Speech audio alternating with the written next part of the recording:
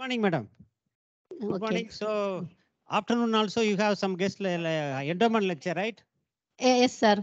I am eagerly waiting for after, afternoon lecture also, madam. Okay, sir. Okay, sir. So you are the Thank. Trichy campus and TNA also will be connected. So please make sure your connections afternoon. Yeah. Okay, sir. Thank you, sir. A very warm and pleasant good morning to the respected guest speaker, respected Dean School of Postgraduate Studies, Director Seed Center attending through online, Professor and Head Department of Seed Science and Technology, scientist and my dear students. Thank you to each and every one of you for being here with us today. On behalf of Department of Seed Science and Technology, Seed Center, Tamil Nadu Agriculture University, Coimbatore, we feel overwhelmed to extend our warm welcome to all the dignitaries, guests, scientists, and students attending through both online and offline for the Golden Jubilee Global Lecture Series guest lecture on Understanding Seed Behavior, Population of Individuals. Let's start the session with the prayer. We kindly request you all to stand up for Tamil Thai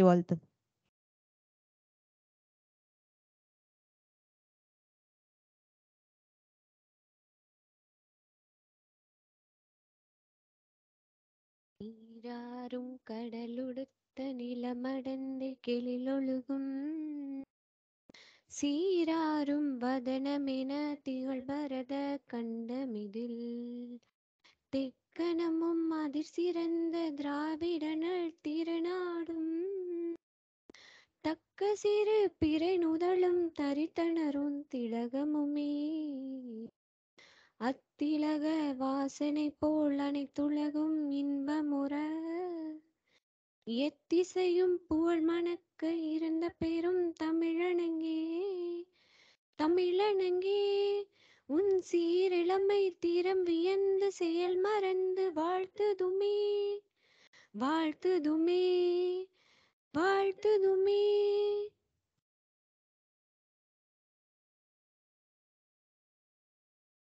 With deep reverence, we would like to invite our respected Professor and Head, Department of Seed Science and Technology, Tamil Nadu Agriculture University, Coimbatore, to welcome the gathering.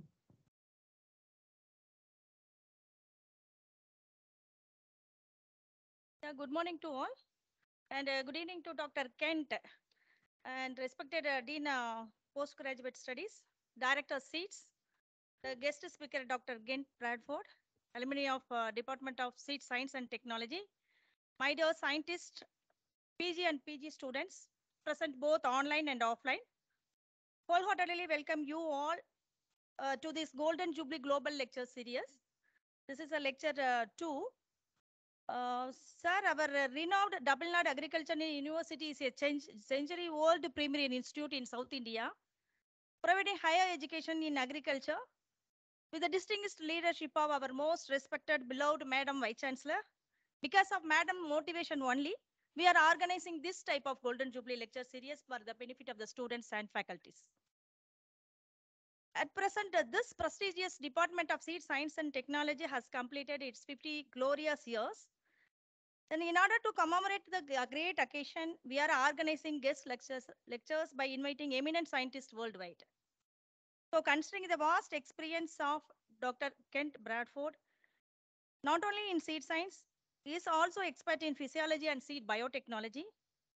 I request him to deliver lecture for the benefit of the students and faculty of TNAU. He is very kind enough to accept our request happily.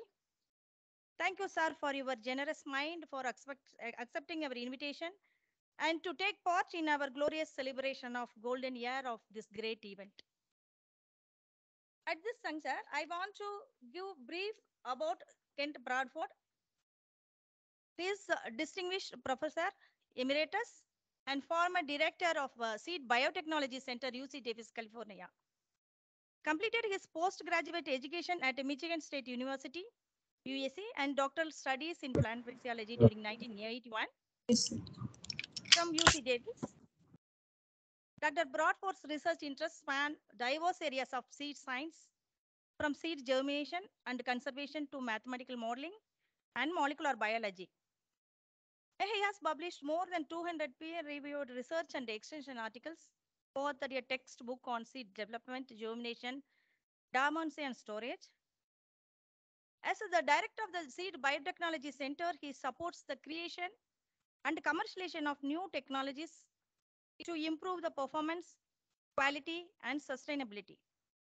So with this brief introduction about the speaker, guest speaker, in this happy occasion, I once again welcome you all to this lecture series. And I am sure we will have a good deliberations and discussions with guest speaker. Thank you for the opportunity given. Thank you.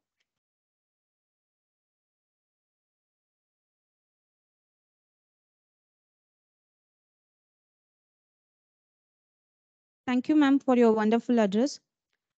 Because of online issues, our director could not join through online now. Next, we feel privileged to extend our warm welcome to our respected Dean School of Postgraduate Studies, Tamil Nadu Agriculture University, Coimbatore, to deliver special address in this great occasion.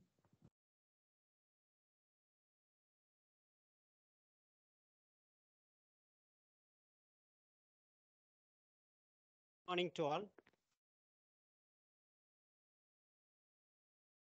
The Professor and Department of Seed Science and Technology, Dr. Manonmani. The Director, Dr. Umarani Seed Center. Is having uh, some busy schedule. She could not join uh, today. And uh, Gerlin, Professor Seed Technology, former head.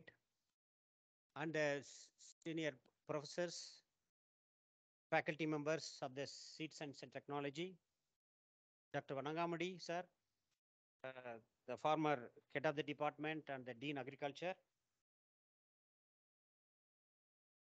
And most important person is today's guest speaker, Dr. Ke- Kent from Department of Plant Science, Univers- University of California, Davis, US. And the my student friends uh, from Seed Technology, not only in Coimbatore campus, Madurai campus connected by online. Apart from that, there are a lot of online participants, for the around 50 participant online. And also, this lecture also been uh, recorded and also the people, those who are busy today, they can watch their lectures whenever they have time. I'm really happy that uh, Department of Seed Technology and Seed Center organizing uh, Golden Jubilee lecture series. Uh, the first lecture already been completed. Now we have the second lecture.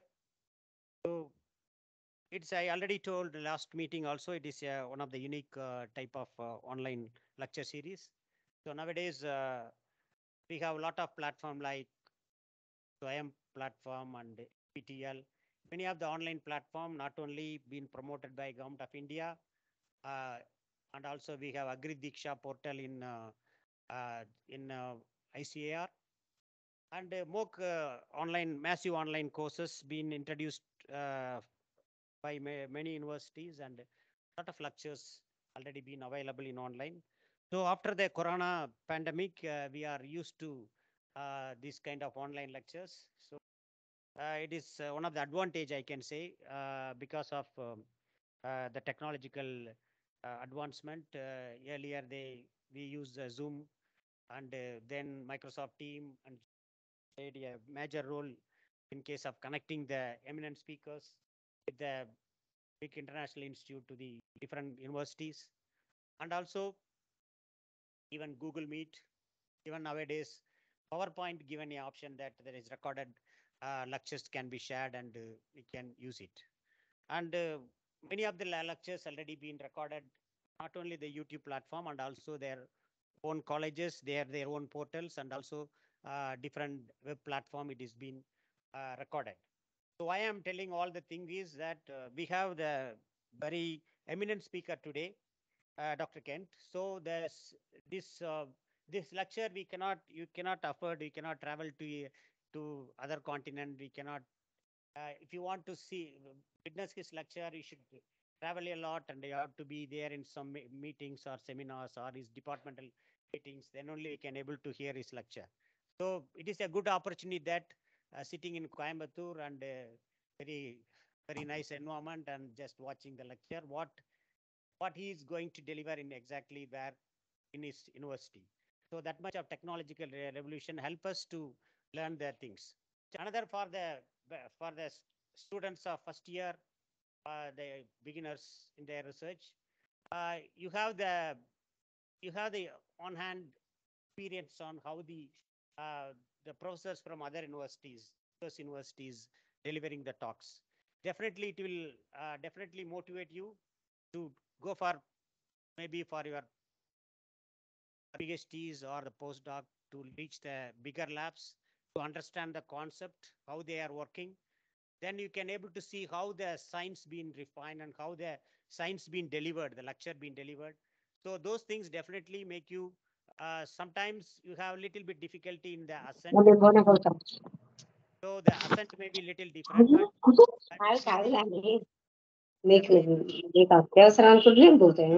Online, online users, please mute your microphone. Online use, uh, online participants, please mute your microphone. Uh, okay, so this is uh, this have good opportunity that even though we some of you have difficulty in the ascent in which you delivered. but uh, definitely at the end of the day, end of the lecture, uh, you, I expect the students should interact because sometimes uh, some of the concept we may not you may not be able to understand the concept. So that time you can pose some questions that will clarify your thoughts. So that is another thing. Uh, definitely as a from the dean pgs uh, pgs point of view we expect the students has to interact so that definitely will uh, enhance your learning capacity and also it will the speaker will be so happy that if you have few questions being posted and uh, online participant, please uh, uh, put your questions in the chat box. Uh, by that, uh, the, the organizers, they can able to read the questions or the speaker, they he can able to read question, they can answer the, your questions. So it, I expect the more of interactive session after the, after the presentation is over. So with that, uh, I really um, uh, thank our Vice Chancellor for making this kind of uh, public defense hall and uh, providing the very, uh, very uh, good digital platform.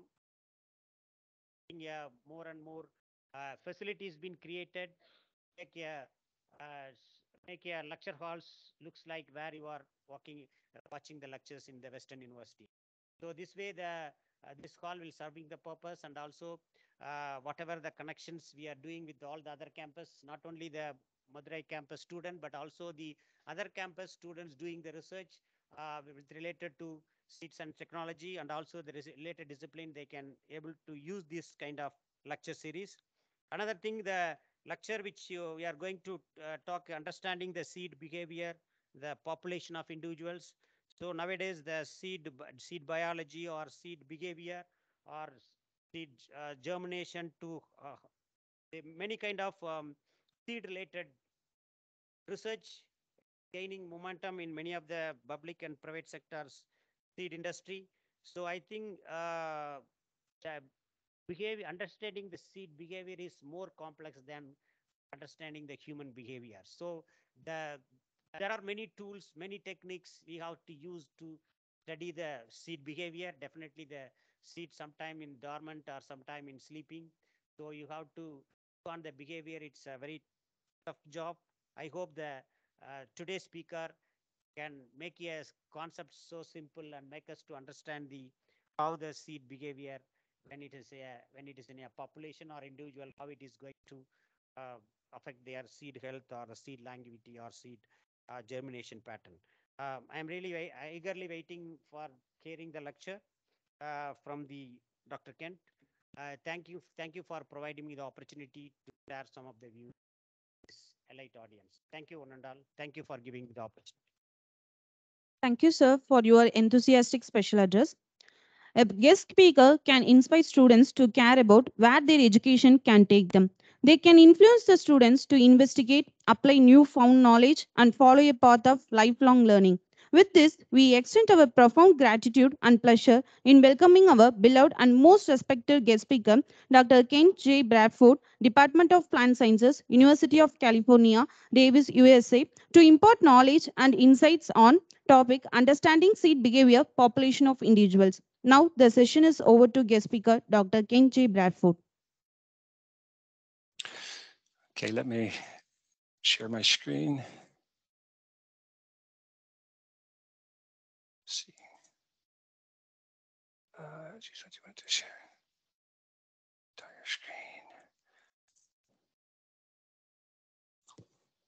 Has that worked? Hello? Can you hear me? Yes, sir. Yes, sir. We, we can hear you. Okay, great. Can you see my screen? Yeah. Excellent. Okay. Well, it's my great pleasure to be. here. I thank uh, Dr. Manonmani for inviting me and uh, and the warm welcome that I've uh, I've heard already. It's a great privilege for me to be here and uh, uh, make this presentation to you. I will try to leave a little bit of time at the end. So as was mentioned, if you have questions, uh, you can write them in the questions and the the organizers will uh, will help us uh, discuss them. So what I'm going to try to do in, in this uh, this time that I have is uh, introduce somewhat what may be a new topic to some of you, but if you've worked with seeds, you probably will more and more recognize what I'm talking about. That is that seeds uh, behave as populations, and as we want to understand them, we need to be thinking in those terms. So I'm going to try to uh, to go through that. Here's an overview of what I'm going to try to do is, is talk a bit about uh, the traits that we're interested in, that is uh, evolved traits versus domesticated traits, uh, the population-based features in seed biology, a bit about our population-based threshold models. So this is an approach to describe germination rates and percentages so that we can quantify the way seeds behave. Uh, some experimental and technological implications about this, and then some applications. That is, why would we be interested in doing this? And show you some new technologies that are based somewhat upon this approach. And then I hope we can have some discussion about this. So in general, seeds are not synchronous. That is, seeds uh, inherently uh, seem to be individuals and do their own thing. And this is partly because of, of the of what their purpose is. So, so we know when seeds are uh, developing, then they often will have a primary dormancy. And this dormancy will require various uh, conditions to break it. That is, they will not germinate until they receive the right conditions of light, temperature, after ripening, chilling, whatever. So that then when they're not dormant, now they have the opportunity, when the conditions are correct at that point, to go ahead and germinate. But if they're lose this initial dormancy, but then uh, go through some other types of conditions, that is, pass through one season, they didn't germinate that season, they're into the next season, then they can go into a relative dormancy or a second dormancy and back. Why do all this? What's the point of all this uh, for seeds? Well, the key to dormancy for seeds is their whole purpose. That is, in the wild, the whole point is for plants to shed their seeds and then be ready to take advantage of various different conditions. Number one, survive through bad conditions. Number two, uh, be able to take advantage of the correct conditions in order to germinate and try to have the best survival of their seedlings. So it's a very important trait in the wild and has led to very complex uh, dormancy uh, mechanisms. Another point that we have to deal with sometimes when we're dealing with seeds, I'll just mention that we'll come back to this, that dormancy is often what we don't want in, in terms of uh, when we're working with seeds, we want them all to germinate uh, when they're ready. The same with the sh shattering trait, where when seeds are mature, they tend to shed. That is, they either fall off the plant or they make themselves available to, uh, to animals or birds or something to take them. But again, we generally want the seeds to stay on the plant until we harvest it. So once we start harvesting seeds, we want a very different set of traits. And dispersal, so we're going to take care of that. So we just assume the plants did not disperse their seeds, but hung onto them and uh, allow us to harvest them and keep them. So these are three major traits that are uh, integral, essential to the function of wild uh, seeds, seeds in the wild and e ecologically speaking, but are negative in terms of agriculture.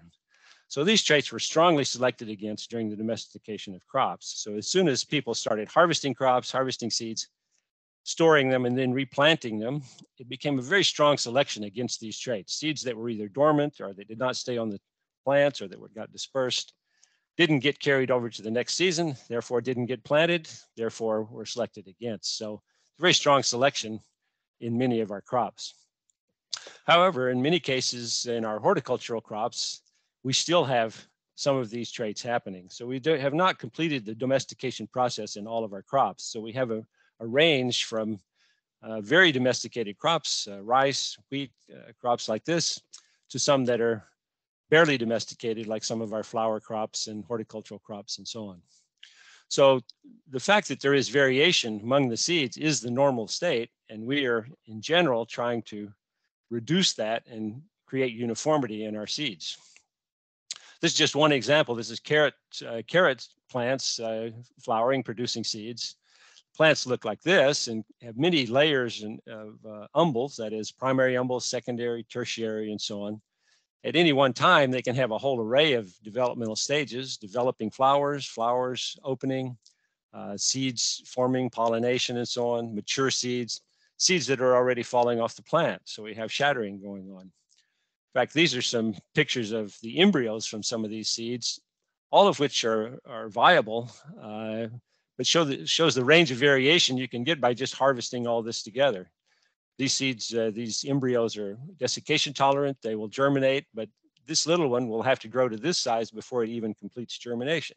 and so very wide range of, of, features. This is just showing how the different umbels develop. So here's one reason that we have a lot of variation in some of our crops, just the way the plant morphology creates the seeds. Differences in maturity also happen in crops like these. These are brassica crops, for example, like uh, rapeseed and, and, mustard and so on, where there's continuous flowering up a, a flowering stalk and you can have still fresh flowers at the top and you can have mature seeds at the bottom. And uh, one thing that has been discovered, and I'll, I'll, show this example with rice, I'll come back to it later, but we can't see this very much, but it turns out that if you look at chlorophyll and you look at chlorophyll fluorescence, you can see very nicely seeds that still have the most chlorophyll. So these lighter colored seeds here are greener, which means they are less mature, which in general will mean that they're not as good. They have not developed as much quality as others. This is shown here. This is actually with brassicas, but it's showing that seeds that have high chlorophyll that in during aging will die much quicker than the seeds that have low chlorophyll or much more mature. So this is a very simple way, and I'll show you again later how we can use this. I want to talk about populations, and I've titled my talk about understanding seed behavior, that we're looking at populations of individuals. So I'm sure many of you deal with statistics and so on, and you know about a normal distribution, a Gaussian distribution.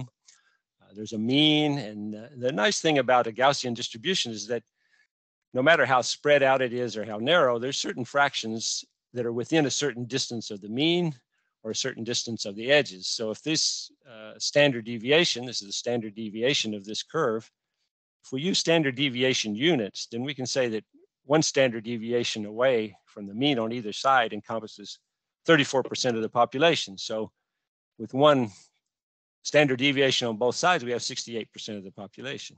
If we go another standard deviation, we get another 14% of the population. So within two standard deviations, we have about 96% of the total population.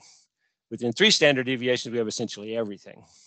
So what it means as well is that uh, this is really the mean of the population, but it, it, it also distributes all the way into these other regions, higher and lower. So this is a, a quote from a book about uh, rationality, Steven Pinker's book last year. And he says bell curves, which is what these are, says bell curves are common in the world. They arise whenever a measurement is the sum of a large number of small causes, like many genes together and many environmental influences. Well, that sounds a lot like seeds to me. they have may, may have 50,000 genes in them, of which maybe 10 or 20,000 are being expressed at a given time and they're paying attention to the environment, which is having its own effects. So it's a very complex system. When you have that, things tend to happen in this normal distribution. That is, things that are more common under those conditions will be in the middle, those that are more rare are on the outside.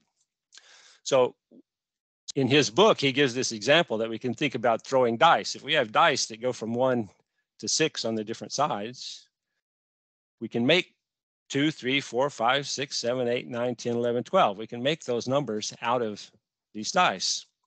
But there's only one way to make a 12. There's only one way to make a two. But there's two ways to make three and 11. There's four ways to make four and 10. There's, I mean, there's, there's three ways each. There's four ways to make five and nine, five ways to make seven, and then there's six ways, I mean, six ways to make a seven in the middle. So basically, just because of the random combinations that are possible, you get more opportunities in the middle. So if you do this enough, you end up with a normal distribution. So the lower frequency events are on the ends and the higher frequency or more common events are in the middle. So this is what he's saying is that when you have, in, if we, instead of having only two dice and six sides, if we had thousands of genes and we had many inputs, this probability curve would tend to look more like a normal distribution. And I'll just say today, I'm not really talking about error. We tend to deal with these distributions a lot in doing statistics and thinking about what the error terms are, but I'm not worried about error. These are real things that are happening. That is, if you throw the dice, these things will happen, and that's not error. It's just probabilities. It's just what's more likely than others. but each of these is real, and we'll see that the same is, is true with seeds. So I'm not really worrying about the means or confidence intervals. I'm giving credit to all of these. Each one of these is an individual. Each one has meaning. And this is very evident when we're going to breeding. If we talk to breeders, and breeders look at this distribution, they have they have different thoughts. In the middle are the most common genetic combinations. So breeders are interested in how genes recombine, what kind of traits are carried among different individuals, and so on. The most common ones are in the middle. More rare ones are these out in these uh, several standard deviations away from the mean. So we have on maybe on one side we have rare favorable combinations, and on the other side rare unfavorable combinations. Breeders are very interested in these. They're very interested in finding these combinations of genes that give big gains in the traits that they want. Closer into toward the mean, we have QTLs, and again, some will be negative and some will be positive. They're not so strong that they dominate, that they're they're but they're strong enough to be discovered. That is, there's enough impact of those traits that we can find those as quantitative trait loci, we call them. We can incorporate those traits and we can move forward in our breeding. so again, this population distribution is very common in breeding and they often will, uh, in other words, when you do breeding and you combine traits, very often we get normal distributions of trait properties. And so they're very, Uh, very. Kent? familiar with that. Yes, Dr. Kent, your, your slides not shared. Yeah, I'm sorry? share your Slides, yeah, your PPT not shared. Slides, The slides. Slides not shared, sir. the slide's not being shown. Yeah, yeah. I, I'm, I'm seeing it. Let's see if I can, uh, okay, the slides are gone. Let me try again.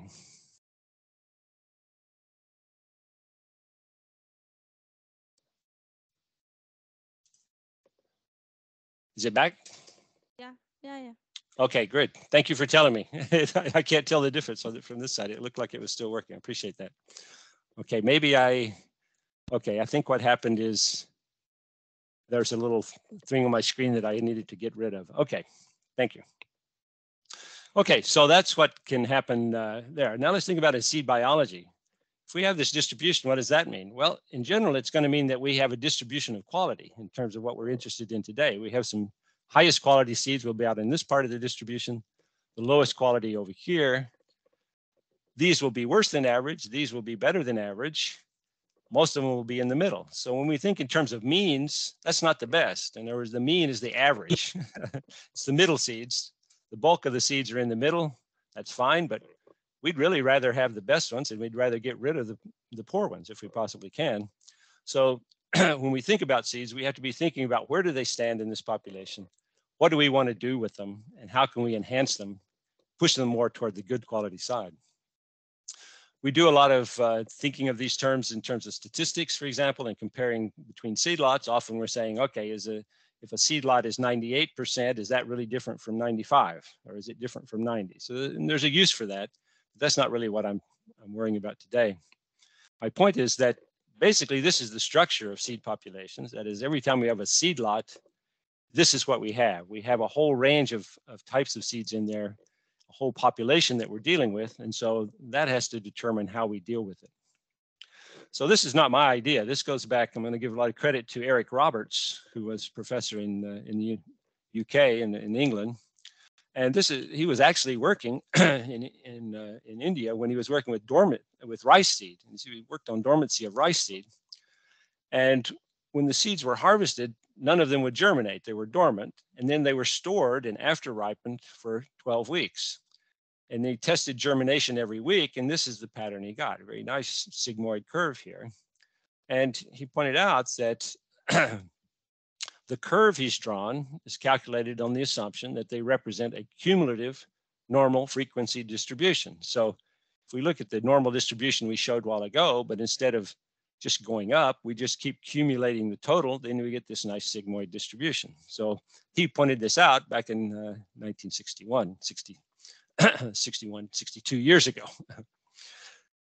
and many of you may be familiar with the Ellis and Roberts equation. If you do deal with seed aging, Richard Ellis and, and Eric Roberts, who I just mentioned, uh, developed a model for seed longevity. And again, it shows that as seeds start to die, if we if we have them under, in this case, very difficult conditions because it's a period of days, but this could be months or years even, when they start to die, they show this same normal distribution. So there's a normal distribution of deaths over time. There's a few here. There's a lot in the middle. There's a very few more here. So we have a nice normal distribution of, of deaths or a sigmoid curve. From that, they developed an entire uh, storage model and, and, and, viability model, which said that the viability after some period of time p was equal to a starting point and a slope divided uh, one over the standard deviation. So if you plot this on a standard deviation scale, which is called a Probit scale, then you can plot the, you could plot those data, it would turn into a straight line, and you could get the slope would be the standard deviation. So it's it may be hard for the students to uh, to believe it, but uh, all of this was done before we had computers. So it was very very nice to be able to make a straight line out of something, and you could do easy calculations. But you can see how converting standard deviations, you have to squeeze the percentages in the middle and, and stretch them at the end. But we won't deal with much more with that. But just to say, this has become a very common way to quantify seed longevity is using this Ellis-Roberts model. So one of the implications if we do this is we have to if we start thinking about if that's the case then we ought to be able to measure differences among individual seeds. So quite a while ago we did some single seed assays. That is we were working with a, an enzyme that we knew was involved in germination of, of tomato seeds and uh, we could assay for this enzyme as it's shown here this is a standard curve at the bottom if we put known amounts of this enzyme in these little wells let it diffuse out into this this medium and then stain it, we could see how much enzyme there was. So very little enzyme all the way up to a lot of enzyme. And these are individual seeds. So we were taking just little bits, just the endosperm cap in front of the which is the place where this, it, it, this is the barrier to seed germination. We would take those little bits of tissue and we would measure them individually. And here's what we got. That is, here's the germination time course down here. And this is the amount of this uh, enzyme that's being made. And the first thing you notice is that it's it's a log scale. It goes from 0.1 to a thousand. So there's a huge range among these seeds, okay, individual differences. If we look down here, these are ones that are very low, very low activity, 1.1, so on. That turns out to be the, the dormant seeds. that is, those seeds never germinated because they're still present at the end. Once the seed germinated, we didn't measure it again. So basically, these very low ones, they didn't germinate that's because this enzyme is, is involved in germination. The other seeds at the very top, these are the ones that germinated and you can see have very, very high levels. Okay, can, this is the fraction of seeds having high levels. So here we've got 30% of the seeds with a value of 100 compared to these having one. So we have really very high levels. We go to about in the middle somewhere, this point here, they're clearly differentiated into two groups. That is, we have the dormant ones that are not going to germinate, we have the ones that are germinating. What we tend to do a lot of times in seed biology is we just take all these seeds and we grind them up together, and we take that as the average. We say, well, that's that's close enough. It's not really when you have this sort of situation where you have very extreme differences. For example, in this case, only three seeds out of 45 measured accounted for 93% of the total activity because they're 100 or 1,000 times greater than those that don't make any. In other words, it would take 100 seeds at this level to make just one of those. So this was very convincing to us that we need to be start thinking in biological terms about these variations and these differences among seeds. I'll just jump way ahead now. That was, geez, 30 years ago when we did that. this is a brand new paper just from last year where now instead of just measuring an enzyme, these people are taking one whole seed. This is an Arabidopsis seed, very tiny seed, crushing that seed and measuring all the transcripts, that is sequencing all the transcripts that are being made in that seed. So they're, they're looking at, at thousands of seeds here and they're grouping these. And so basically what they're showing is that as these seeds are starting to, to be imbibed and start to germinate, they're making a lot of different, transcribing a lot of different genes. They then put them under conditions where they're going to go dormant. So they put them under warm temperatures and they push them into dormancy. All the seeds become very uniform and they stop doing anything. So they can follow this in the transcriptome. They can say they're starting to germinate, but now they're going to turn around and go back and they're going to become dormant. If we take out, um, out of that condition, this is high temperature that they're in putting them in. If we take them out of that, move them, uh, let them recover, now they start germinating again and we get a huge variation again in the transcript. So basically we can do this gene by gene across entire organisms now. So this is basically what's what's happening is that you have a lot of genes down here that are uh, more associated with uh, survival and uh, desiccation and things like that that come from development. We have other genes that are being synthesized in preparation for germination. And what they're pointing out here is that if we put them under dormancy inducing conditions, they start here where most of them are not dormant. We end up over here where they are dormant. And basically, again, we see a population of seeds. And as we're moving across this, that is, we're getting more and more signal to become dormant, more and more of the seeds become dormant. So basically, there's differences in their susceptibility to this. Eventually, they all will become dormant. So here's under dormancy inducing conditions, in this case, high imbibition temperatures, the thresholds of increasing numbers of seeds are exceeded. That is, more and more of them are going, oh, it's too hot, I'm going to go dormant. This triggers a reduction in expression of germination related genes and increasing numbers of dormant seeds. The same pattern would occur really if we were releasing dormancy. That is, if they were all dormant and now we were giving them a dormancy breaking treatment, we'd see just the reverse. They would be moving from dormancy back to germination in response to some dormancy breaking treatment like after ripening or chilling or whatever. But again, whether a seed is dormant or not is an individual thing. A given seed either germinates or it doesn't. it can't kind of half try. It either is germinated or it's not. So everything happening with seeds is what we call quantal or digital in a sense. and each one is paying attention to its own signals and deciding, am I going to go or am I not going to go? Here's another way that another type of experiment that convinced us we need to think this way. This experiment where we took tomato seeds that were deficient in gibberellins gibberellins are required for germination, uh, and they're very strong promoters of germination. If you take seeds that cannot make their own their own gibberellin, they can't germinate at all. They're way down here at the bottom and they can't germinate. If we give them some gibberellin, 0.1, 1, 10, 100 micromolar, you see what happens. That is, more and more seeds can germinate. They become faster. But if we're at a certain level, say we're at 10, they don't all eventually germinate. You reach a plateau and then they just quit. What that means is that this fraction, say 70%, was sensitive to 10 micromolar gibberellin, but the rest of these needed more. Okay. So again, we can fractionate this population with gibberellin sensitivity. So that's what I'm showing here. We have a normal distribution of sensitivity now. We have different hormone levels. So when we give a low level, this fraction of the seed population are the only ones that respond, these down here. If we give more gibberellin, we recruit more seeds. Okay, so we're recruiting more seeds to germinate as we give them more hormone. And they also become faster. So this seed that at a low concentration took this long to germinate becomes much faster. So there's two effects that are happening when we give factors that affect germination. There's an effect on whether they germinate or not. There's an effect on how fast they are. So we have both of the effects visible here. Higher levels, we recruit more. All of the seeds then become even faster, all the way up to here. In fact, we would have had to go a little bit higher. Our prediction, we'd have to go out to one millimolar in order to get the last little bit of seeds to germinate.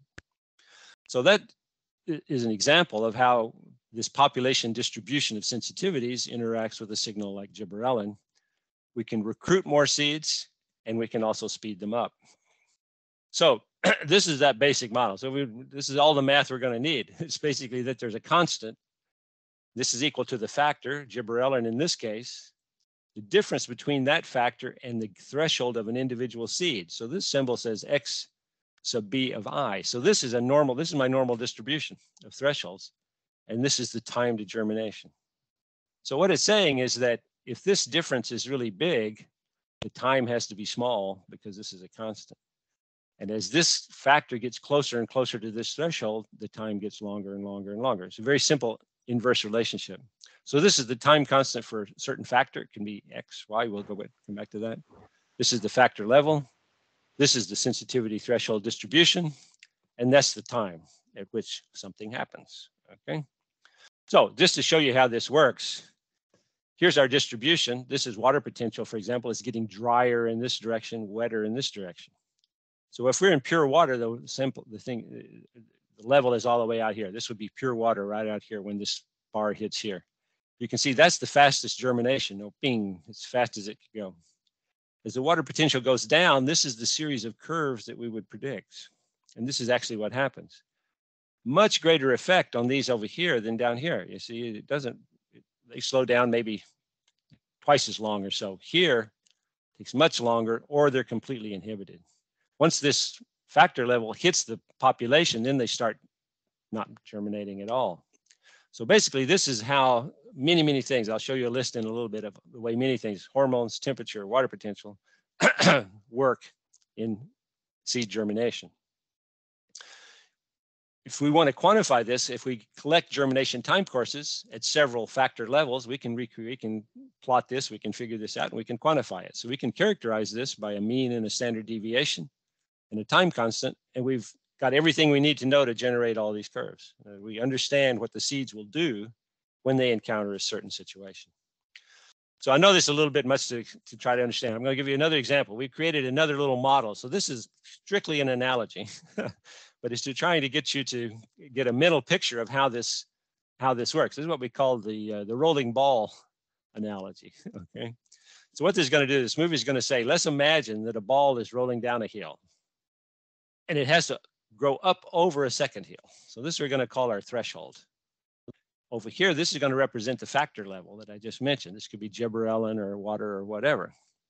If it starts higher, as you might expect, it's going to roll further. Okay, it can roll further down the way. Hope you're still there. Yeah.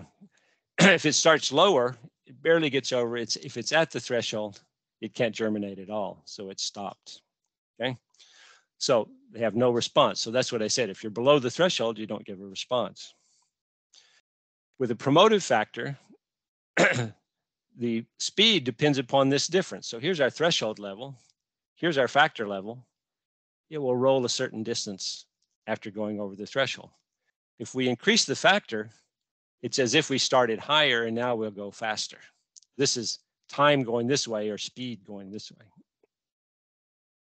Same with an inhibitor, inhibitory factor, but we just flip the scale around. So now when we have an inhibitory factor, we're increasing as we go down. Here we have relatively little of an inhibitory factor. Germinates quite well, goes fast. If we add more inhibitory factor, it's going to slow down. If we add too much, it won't be able to germinate at all. So these are the ones that can't germinate. These are the ones that can. Oop. All right. I jumped too far there. Let me get it back and I'll speed it up a little bit. I don't know if I can speed it up. Well, we'll just have to watch this again because I hit, a, hit the wrong button.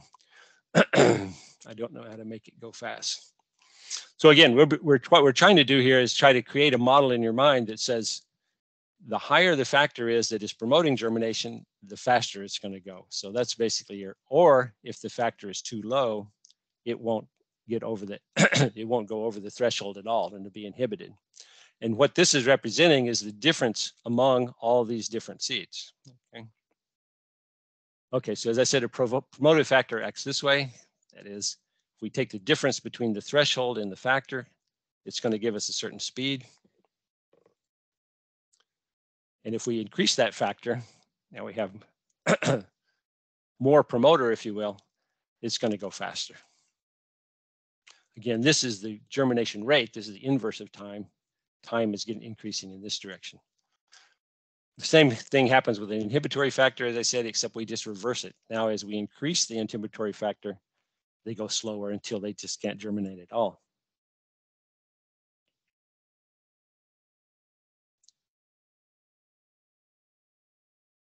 Now we'll be back to where we were. Whoop, can't make it. Now, the other factors that are that are involved here are the um, again, we've got the factor we had that we have to get over the threshold, and that's where we have the distribution, as I'll show you in a minute. And the less of this inhibitor we have, the faster it's going to go. This is where the time constant comes in. So if we have a lot, uh, increase the size of the time constant, then that makes everything go slower. Whereas if we have a short time constant, it all goes fast. So it affects all the seeds, no matter where they're starting, they're all going to speed up or slow down if we change the time constant. So basically that's just changing the everything, regardless of the factor level, everything will either speed up or slow down.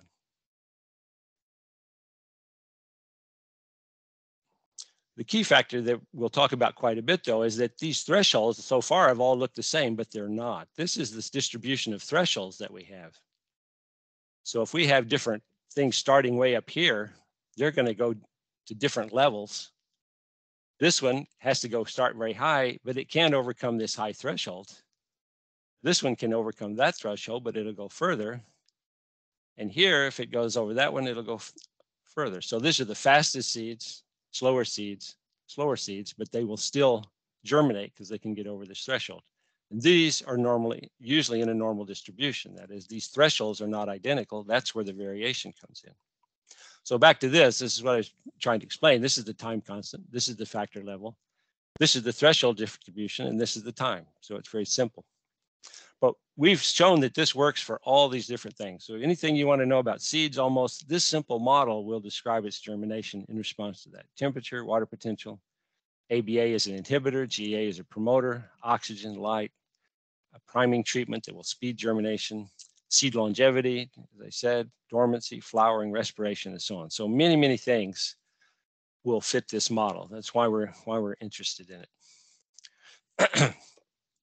so look back again, how are we going to apply this a little bit? So this is showing the development of quality in, in seed during development. Usually the seeds initially develop their germination capacity, so they may not be desiccation tolerant. That is, if you take them right out of the plant, you put them on water, they may be able to germinate. But then they have to develop some more before they become desiccation tolerant so that you can dry them and then they will germinate. Usually it takes a bit longer for them to develop vigor, which for me means speed. That is, they, they will be able to germinate, but it takes a long time. So if you let them get more mature, then they'll go faster. And the storage life is the last thing. That is, at the end of development, then they increase in their storage life. And if you let them go to their optimum uh, maturity, then they're going to have the longest storage life, plus high germination, plus high vigor. Here's some data showing that from, uh, from some work on Medicago uh, showing here's the dry weight accumulation. As it accumulates, the water content go, goes down. Oh, I don't have any symbols on there. Desiccation tolerance comes up. So in other words, if you dried the seeds at these different times, after a certain point, they're desiccation tolerant. Here's the time to germination down here. So it, don't worry about this too much, but once they become desiccation tolerant, they're pretty slow to germinate, but then they get faster and faster. This is shorter and shorter time. So they get faster and faster. So that's an indication of vigor. And the longevity goes up toward the end of development as well. This has been looked at now in terms of genes and, and development, embryogenesis, desiccation tolerance, uh, seed storage, material filling, so on, germination. All of these things have their characteristic gene expression patterns, as it shown here. So these connections show that they're grouped and there's a whole group of genes, for example, involved in that desiccation tolerance trait. There's genes involved in the, the dry weight accumulation, the seed filling, and so on. So there's this final maturation and so on is preparing for uh, drying and, and all that. So these have all been done and there's been data for uh, tomato seeds as well. So once we have the seeds, here's another way that we can apply this this uh, this concept of populations, is that we have a, if we're storing seeds, they will store for quite a while at pretty high level of viability, let's say, but then we have this drop off, as we saw earlier. It's an it's a sigmoid curve where they're going to start uh, falling off. And the actual viability, they, they won't do anything, is this curve over here that they can't even do a radicle. So if they can't push out a radicle, they're fully dead. So this red curve is the accumulation of dead seeds as these that can't make a radicle come out. Before that is actually the curve where they can make normal seedlings. And so if you pass that threshold, this if you're storing the seeds, you pass that threshold, you may have a period here where they can make abnormal seedlings and then they die. So this is sort of the, the basis of the Ellis Roberts model I mentioned earlier. So how, this is how it fits with our model. It says that we have a, an aging constant. We have a distribution here, which is this one over here. This is this distribution of death times, if you will. See, some seeds can last a lot longer than others. So these last a lot longer than those initial ones that die. And this is the storage time. And we can translate that actually to time to germination. So in other words, each of these time points along here, we can have a germination time. So that's what we're showing here. If we have a, this is this distribution, we took the sigmoid curve, we made it into this nice distribution. This is the maximum longevity of a given seed. So as storage time is increasing, we're getting closer and closer to this. And what we're going to see is a whole pattern of germination curves. So when we have a lot of storage time left, we're way out here at A, we have fast germination, they look nice and vigorous. As we get closer and closer to the this curve, they slow down, but they can still all germinate. But once we start getting into this population, now a certain fraction can't germinate and they're all going to be slow. So what this is really telling you, all of these things we talked about, all these things that this model works for, the germination percentage and the rates are connected. That is, they're connected with each other in that you can have a delay, you can have a slowing down, a loss of vigor, if you will, but still high viability. But eventually those all start to go down. So you very seldom have 50% germination, but really fast. So this is what we're, we're learning about. All of these traits are connected with each other. And what this says is that if you wanted to predict how long your seeds would last under storage, say you have a known given storage condition, you could take seed lots and you could apply some controlled aging tests and you could determine their relative viability. That is, if you standardize a controlled aging test yourself and then followed those seeds later under your storage conditions, you could calibrate a test that would predict pretty well how long those seeds are going to last in your storage. The other thing that this model uh, predicted, I won't go into it, but it basically will predict that, go back up for a minute, given the fact that there is generally an offset between this normal seedling curve and this radicle emergence curve. That is, they're usually offset. Some can be long ways. Soybeans, for example, you have a lot of abnormal seedlings and there's a big spread. Some other seeds, lettuce, for example, this is usually very close. There's most of the seeds are either do or don't germinate, not that many abnormals. It says what our, what our model predicts, however, is that after a certain time point in this delay, once these seeds are delayed, the remaining seeds will probably be abnormal. seed testers do a lot of work to learn how to score abnormal seedlings and do a lot of scoring of abnormal seedlings. When in fact, for a given species, you could probably calibrate that and say, well, if it hasn't germinated by a certain point, it probably isn't going to be very good. and so the faster it is, the more vigorous, and at a certain point, it probably isn't. So we might rethink a little bit about how we do uh, seed testing based upon this approach. Going to go on now and tell you a little bit about some more modern uh, technologies that, that apply here. How are we going to do this? If we really want to know what every seed's doing, what are we going to do? It's very tedious to go and look at them every few hours. I have graduate students that have done that. You get really nice data, but it's not very practical. Certainly not on a large scale. It's too tedious, too, too labor intensive. So we've worked with how can we assess individual seed quality in a way that's that's more robotic, if you will, uh, but gives us good data.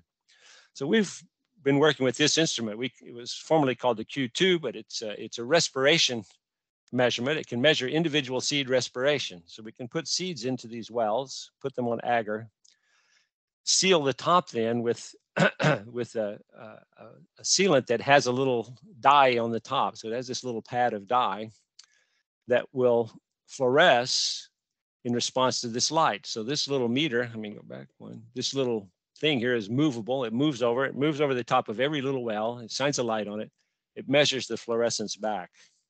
The fluorescence is dependent upon the oxygen level inside the well. So as the seeds respire and use up the ox use up the oxygen, we get a different signal. So basically we can follow the pattern of respiration seed by seed over the time of a seed starting to germinate. So initially they're germinating at a, I mean, they're respiring at a relatively slow rate. At a certain point, each seed will start to germinate and then it will respire much more quickly. So we can follow this pattern and then they end up using up all the oxygen and, and it's over. So in a, in, a, in a time course, we can follow the seeds through this. We can collect their respiration data. So this is what I'm showing here. This is for a series where we have these, uh, have some ABA deficient seeds. These seeds don't have any ABA. And you see they will germinate or they, they will respire very quickly and uniformly. All of these seeds are respiring, using up their oxygen very uniformly and quickly. But if we give them a little bit of ABA, look what happens. Now we have a few seeds that just ignored it. We have a few seeds that are completely inhibited, and we have a complete spectrum of seeds doing different things. So this shows directly that every seed has its own sensitivity to that single concentration. If we add more hormone, more of them are inhibited. That's the black lines here. But a few of them are still germinating almost as fast as they were originally. And it takes a quite a high concentration until all of them at well, one are inhibited. So this is a very hardy seed here, very low, low, low sensitivity to ABA. So again, we can see directly that there's a sensitivity distribution among the seeds. The other thing you can see here, if you follow this dotted curve, this is actually the average of all of these curves in terms of how the overall population used the oxygen. This is what we would get if we put all the seeds together in one tube and we just measured the air above those seeds. We'd say, okay, here's how the oxygen is going down in these 50 seeds what I point out is not a single seed does that, right? Every seed has it reaches a certain point and respires very quickly, germinates almost immediately. So these averages are not really reflecting reality. They may be useful if you just need to know what the whole population is doing. But if we're trying to go for a mechanism where we're trying to understanding the difference among these seeds, this mean is not going to help us at all. Here's the same data. It's just showing that if we actually went in and measured germination at these different ABA concentrations, since it inhibits germination, we get a whole series of curves. The data are the points and our, our model is these lines. This is if we use the respiration data. So we can get pretty much identical curves from the respiration data and from the uh, germination data that's shown here. So for temperature, water potential, inhibitors, ABA, GA, and so on, almost perfect relationships between germination timing, and respiration timing. So we can use respiration as a substitute for measuring germination. So this is showing here a few ways that that's, this would, for example, be controlled deterioration. This is where aging these seeds. These are actual time points, data points that we've measured.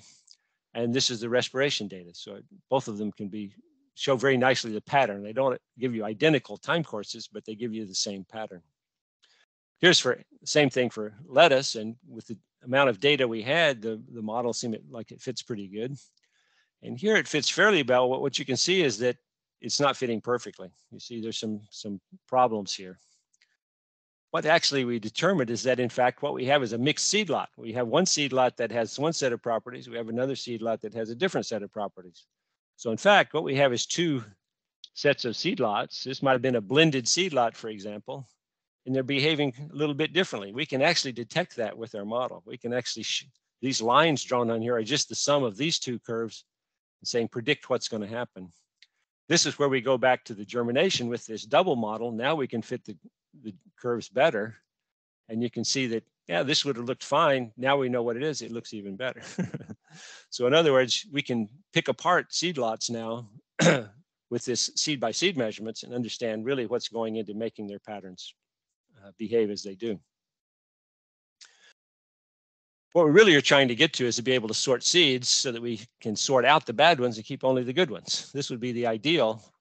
We do a lot of seed cleaning, screening, and so on. We're, that's what we're always trying to do. We're trying to clean out the trash, clean out the, the poor seeds and so on. So we do a lot of cleaning of seeds. based upon their physical properties, that is the size, shape, and so on. In fact, there are instruments that have been in machines now for 10 years or 15 years that will actually x-ray seeds.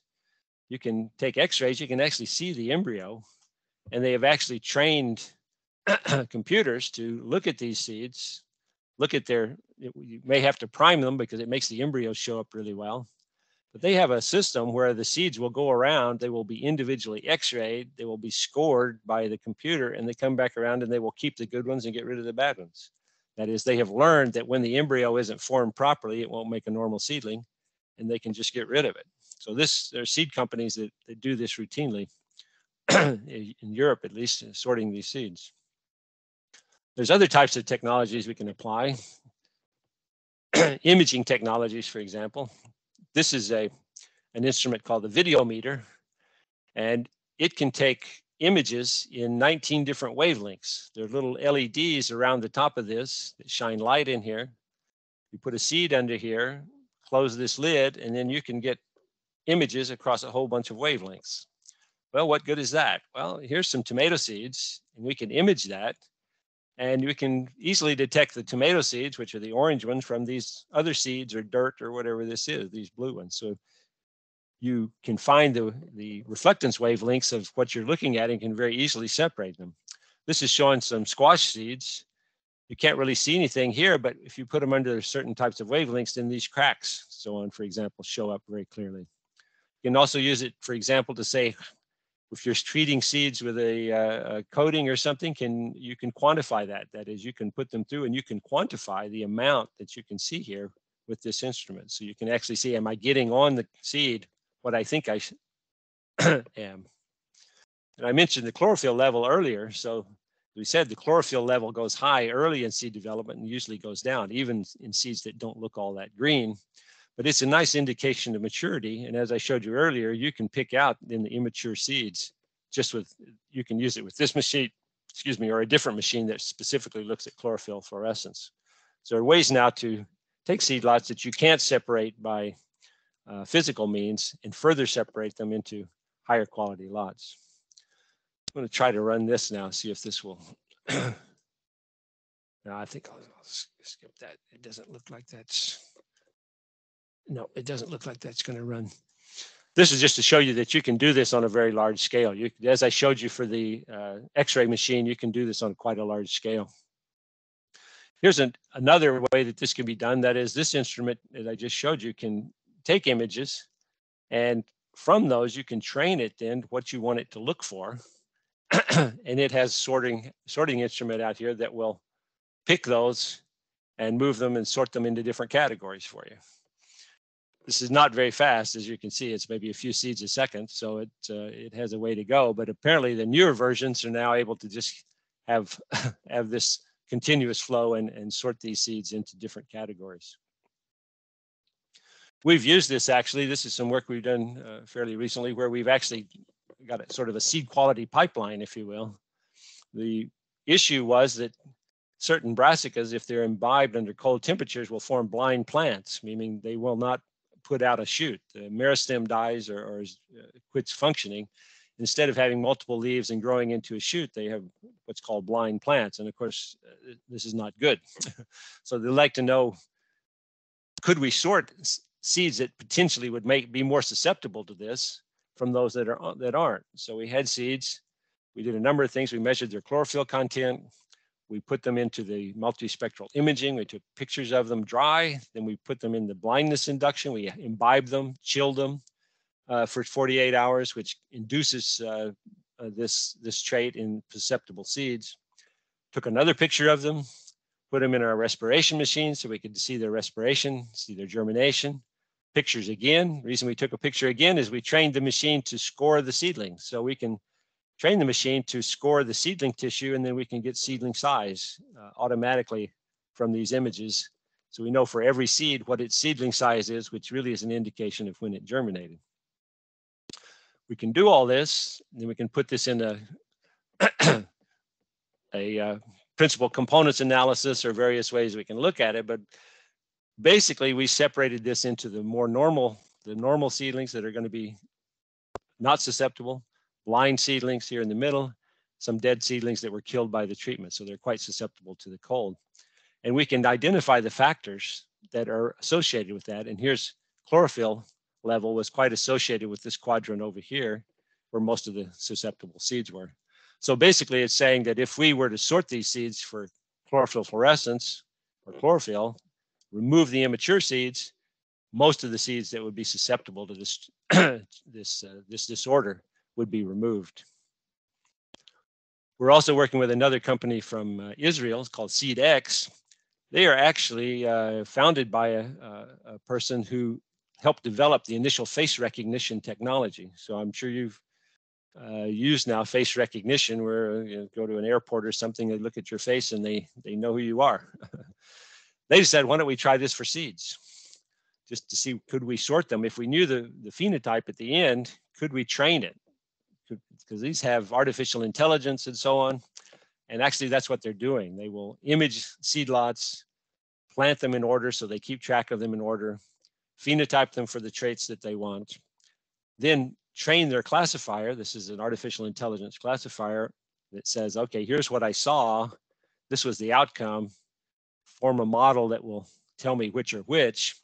And basically they were able to do that. So this fraction that were predicted as germinating that actually did are the blue ones.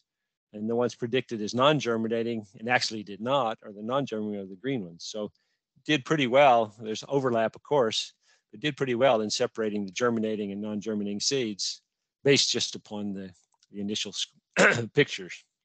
And they actually have also built a, a sorting machine that uses this uh, uh, their equipment to take pictures of a seed lot, train itself, and then be able to sort seeds one by one for various things. And they've used this already for certain uh, disorders of seeds to improve seed lots.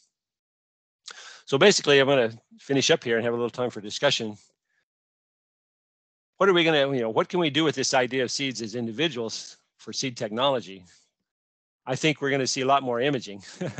this is, you know, seed by seed. It's not very high throughput, but in the field grains and seed corn, for example, in the U.S., they have very powerful uh, color image color sorters that can sort on multiple colors now, and it's very soon that they'll be able to use the information from a very complicated multispectral image like this and sort high volumes of seeds.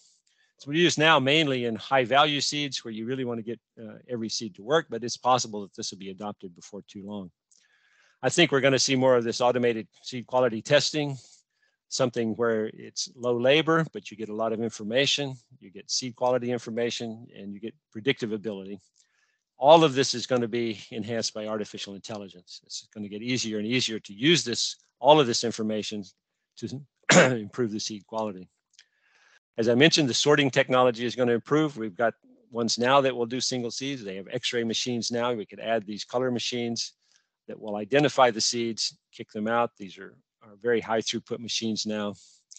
And why would we want to do that? Uh, here's a new planting technology that we're using in California. It's called paper tape. You make a continuous paper band, if you will, with planting material, put a seed in each one, and then water them and they should all grow. that is, these are going to be planted automatically by machine.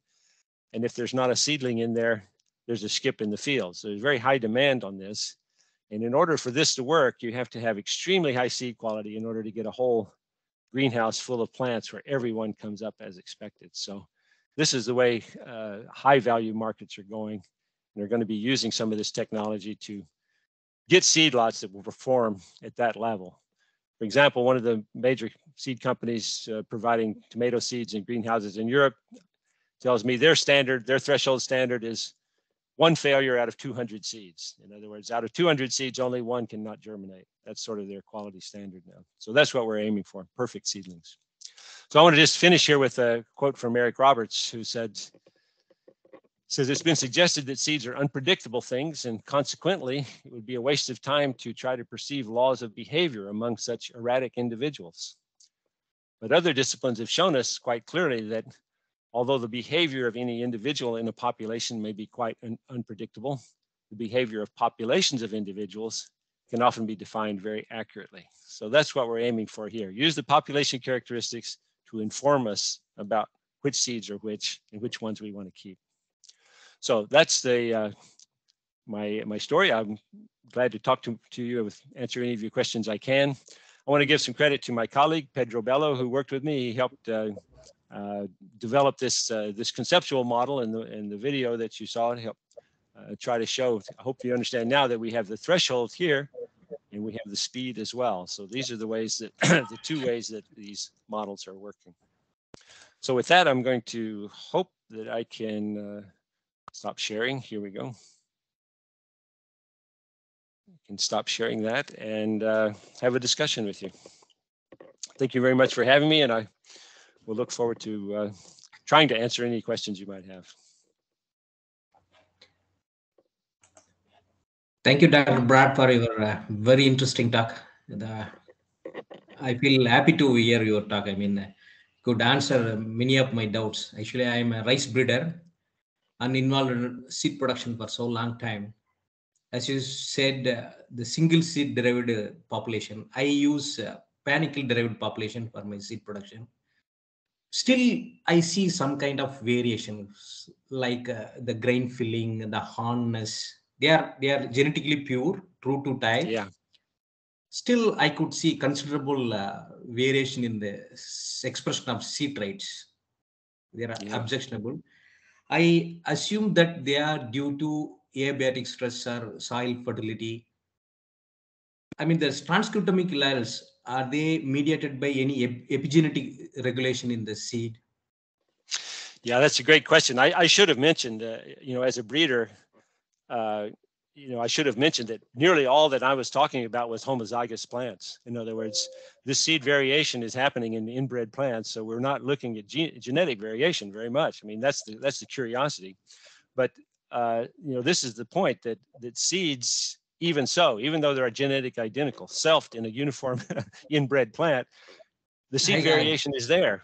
So I, it comes, I think, from this history of one, the history of this dormancy. Two, from, as you say, they're not identically placed even on the panicle or on a on a ear of corn or anything. So you have differences uh, even within a panicle, for example, in some of these, uh, some of the way the development goes. Certainly, epigenetics could be a big part of it. Uh, we also know that uh, the, the seeds during development are being influenced by the environment that the mother plant is in. So, you know, you could have conditions where you have, you know, unfortunately high weather or, or a cold spell or something. And if the seeds are developing right at that time, they will have different traits than some in another field that didn't experience that temperature change and things like that. So this is all physiological variation. And it, it very likely comes from the, the fact that all of those responses, that response to environment and so on, had a it had a, a survival value back when mm. rice was growing out in the wild. I mean, I have a colleague who works on dormancy in wild rice. It has very very dormant. They can find QTLs for it. They've pinned genes for it and everything, as you probably know. But we've eliminated most of that. But I think we haven't eliminated everything. Those seeds are still paying attention to the environment. And as you say, depending on how they're grown, if they're ahead of each other, behind, you can still get quite a lot of performance variation or seed trait variation, even in something that's genetically uniform. Thank you. Thank you so much. Thank I don't you. know if that really it doesn't give you any real details, but I think that's what we know. Yeah, I'd like to have your PowerPoint. Thank you, Brad. Yeah, Thank you. thank you. Thank you for the question.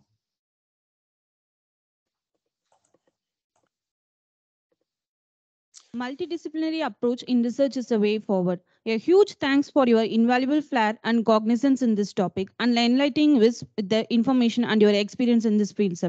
Definitely, your lecture will be a galvanizing factor in steering us into a new path or way of research. Now, now the session is open for discussion. Participants who are present both online and offline are requested to interact with our guest speaker.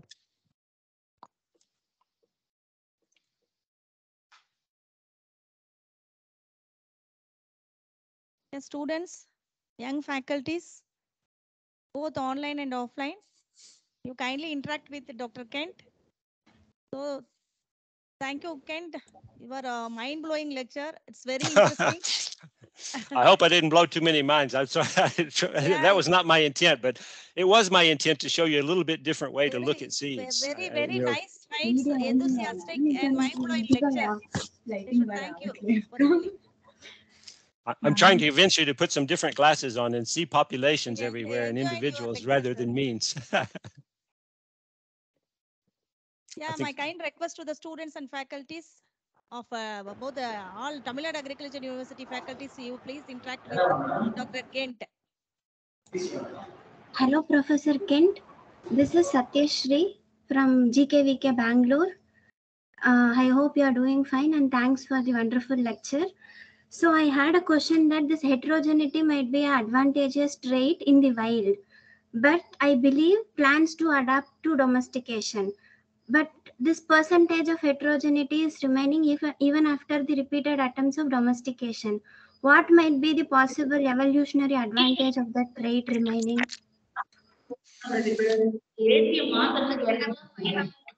Uh, I, I missed one thing.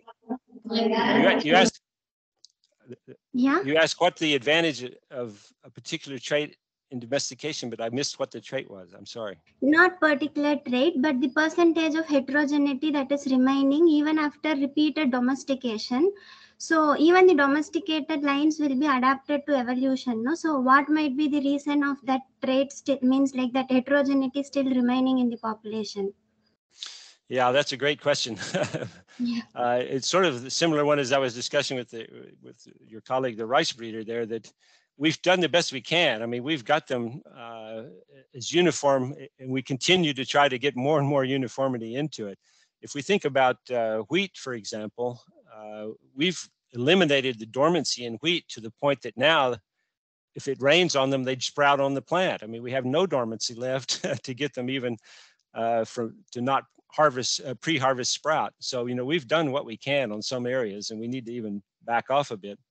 But uh, I really don't. I, I think one thing that we can do is we're learning more and more about the signals that come from the environment. We're learning more and more about the development. Uh, it could be that we can learn enough to know, okay, these are some of the sources, the, the some genes that are responsible for being too sensitive and therefore in, invoking uh, heterogeneity into the population. Maybe we turn off certain sensitivities so they don't pay attention to that anymore. They just, you know, they're immune to it.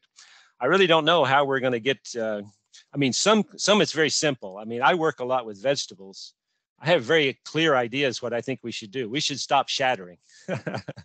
For example, we have not completely stopped shattering, uh, and the plants once they're mature, the seeds start to fall off, while they still have immature seeds uh, and, and developing seeds on them you know, we don't allow that in beans and things like that. I mean, we're just used to things staying on the plant. Most legumes in the wild explode and throw their seeds everywhere. So we, we've eliminated that. So uh, we need to, to push further on many of these, uh, these non-grain crops and eliminate shattering because then you can allow the seeds to go to maturity. That's why I started my talk with the idea that seed maturity is very critical. If we have shattering type crops, we can't let all the seeds go to maturity or half of them have already fallen off the plant and we've lost them. So I, I talk with breeders all the time who are working in uh, in vegetable crops in brassicas, oils uh, like uh, broccoli or cauliflower or, or mustard or oilseed rape. Stop shattering. It's very simple. It's one gene, one or two genes. Do a mutation screen stop shattering so that the seed pods will stay intact. And then you can allow the seed to go to much more maturity and retain those good seeds. And then you will have not that those immature seeds that are causing all the problems. So in some cases where we have not completed that domestication process, there's some very clear targets. But in the ones that are highly domesticated and it still remains, uh, it's a little more tricky. I mean, because again, we've, if we go too far in reducing dormancy, uh, then we get into pre-harvest sprouting problems and so on. So we may have gone about as far as we can there. Uh, I will say though that that in general, uh, the seed traits per se do not receive as much attention from breeders as the market traits. If you say, okay, rice, there's much more breeding on the marketability traits for rice than there is on the seed quality traits, which which is appropriate. But I think if a few of these quality traits would be included in the breeding target goals, we could still make more progress. Uh, but I think we're really going to need to use some of these these tools where we actually measure that heterogeneity. if you're going to go to a breeder and say, I want you to, I want you to breed for homogeneity, you have to give the breeder a phenotype. You have to be able to measure that with seed, with individual seed type measurements and then give a criterion that they can use as a phenotype for selection. So yeah, I think we need to provide them that. The breeders maybe need to think a little bit about seed quality. Yeah, Maybe a long you. answer to your question. I hope that's, I hope that's adequate. Yeah, thank you. That makes a lot of sense. And thanks for the wonderful lecture. Thank you for your question.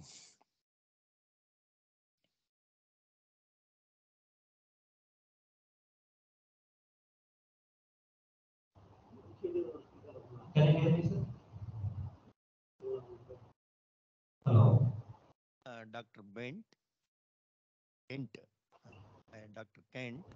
Yes. I am Dr. Vanangamudi, a retired professor of uh, seed technology. Okay.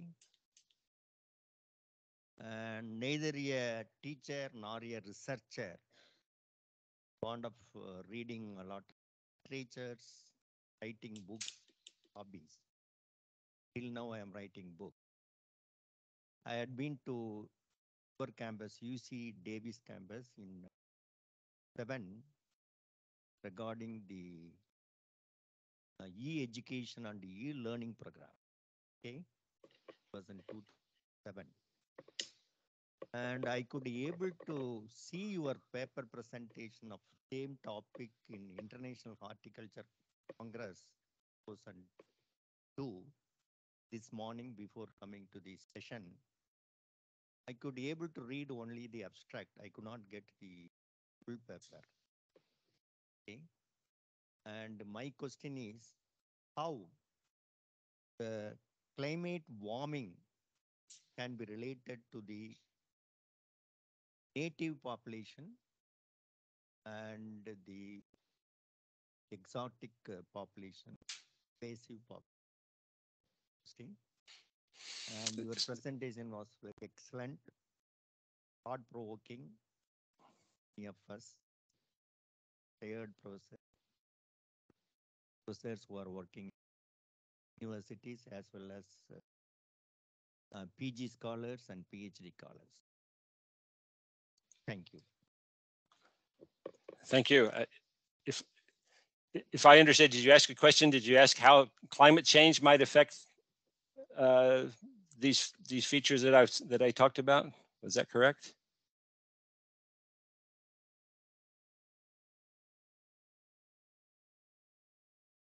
Yeah, Same thing, the climate warming, you know, yeah. with respect to temperature. How it uh, influences the native population as well as the invasive population or exotic population. Yeah. Wow, that's that's a very good question. Very very difficult one. but uh, I think we would be shocked to realize how sensitive seeds are and how precisely they can measure temperature. uh, you know, I've worked a lot with lettuce seeds, and two degrees centigrade, they will go from 100% germination to zero eh, on the high end. That is, we've done a lot of work on that, and in the in the mini plants, we've done some work on desert plants as well, very dry, hot climates. Many cases, those seeds will just not germinate above a certain temperature. It's not adaptive for them to germinate at high temperature. So I think we're going to be finding that that in the native world, uh, you know, the the it's going to be affecting populations. Now, what's going to happen? We're already seeing, for example, native populations moving up the mountains. In other words, moving to cooler, toward cooler climates. Those that are, as, as the temperature is getting too warm, those populations that like cooler temperatures are moving up. We're going to see shifts of native plants all around. A lot of this driven by the seeds. So again, I think the dispersal is the key thing in the wild for certainly for annual crops, but also for the movement over the longer term. And the seeds are really exquisitely sensitive to the temperature at various parts of their life cycle. During development, we know now that the temperature during development really affects the subsequent dormancy. So even while they're developing, the mother plant is influencing the seed of what it's going to anticipate for the next season. and if that's wrong, well then you know that's going to be a detriment to those to those species. So I think on the other hand, plants are quite adaptable. I think they will figure it out. I mean, part of my story is that in fact, there's an enormous range, and that's why they put that out there. That is, plants hedge their bets already. And so I think probably uh, in the wild also, the part of that bet hedging is genetic. In other words, we don't generally have this very uniform inbred uh, lack of heterogeneity genetically that we find in the wild. So when they, the seed dormancy allows a movement of a, of a seed, gets it established in a new location, it's very likely bringing along with it a new genotype as well that may be more or less adapted to that new climate. So it's clear that that the temperature change is going to be dramatic and it's going to be dramatic on particularly on wild species, but on crops as well. We're going to be see shifting where we grow certain crops. We're going to be moving the locations where cool season crops are grown, warm season crops, and so on. So I think this is really critical. But it, you know, I can. I what I guess what I'm trying to suggest is that seeds are going to be a really critical part of that, particularly in the wild uh, situation, because they are the, one of the key transmitters of genotypes across to these new, more adaptable, uh, more hospitable environments. Yeah. My doubt is which population perform well, whether it is native population or invasive population. Oh, well, in terms of the invasiveness versus natives, yeah, I'm not a good enough ecologist to really answer that uh, very definitively. Uh, the problem, I think, is going to be, like I said, I mean, if you have a situation where climate's warming, species are moving up. I mean, we're seeing species at the ones at the very top are going to get moved off. It's going to be too hot. The aspen, I mean, the alpine species are going to be in trouble. But if it's moving up, then it becomes are those that are moving up invading? are they invaders into the next climate zone? You see what I mean? It becomes like they're all fighting it out, and which ones are the invaders and which ones are not. For us, it's fairly easy if we see a, a you know a, an invasive weed coming in and causing problems in a place where it wasn't before. But if you're looking at a totally native, natural situation, then it's just a matter of adaptation. Which ones are the most adaptive and which one are going to take it? It may be the ones that we don't want are the ones that, that are the most adaptable and take over. So in that case, we'd say it's it, it's invasive. It's going to be challenging. I mean, I'm not really a, a, enough of an ecologist. I've done enough to see that uh, we may have to change some definitions as these as these things change. Okay, thank you very much for your. Uh, Appreciate your question. yeah, yeah. Uh, this morning I was referring an article published in uh, Front Ecology and Evolution with respect to climate warming facilities on seed germination of native and invasive species. And uh, they highlighted that the invasive population was performing well than native population under climate warming. Mm. I, I would like to share this one, okay? And my last request, I could able to read your paper, but I could not get the full paper. Even I tried for uh, registration, it is not accepting. I think I can mail you.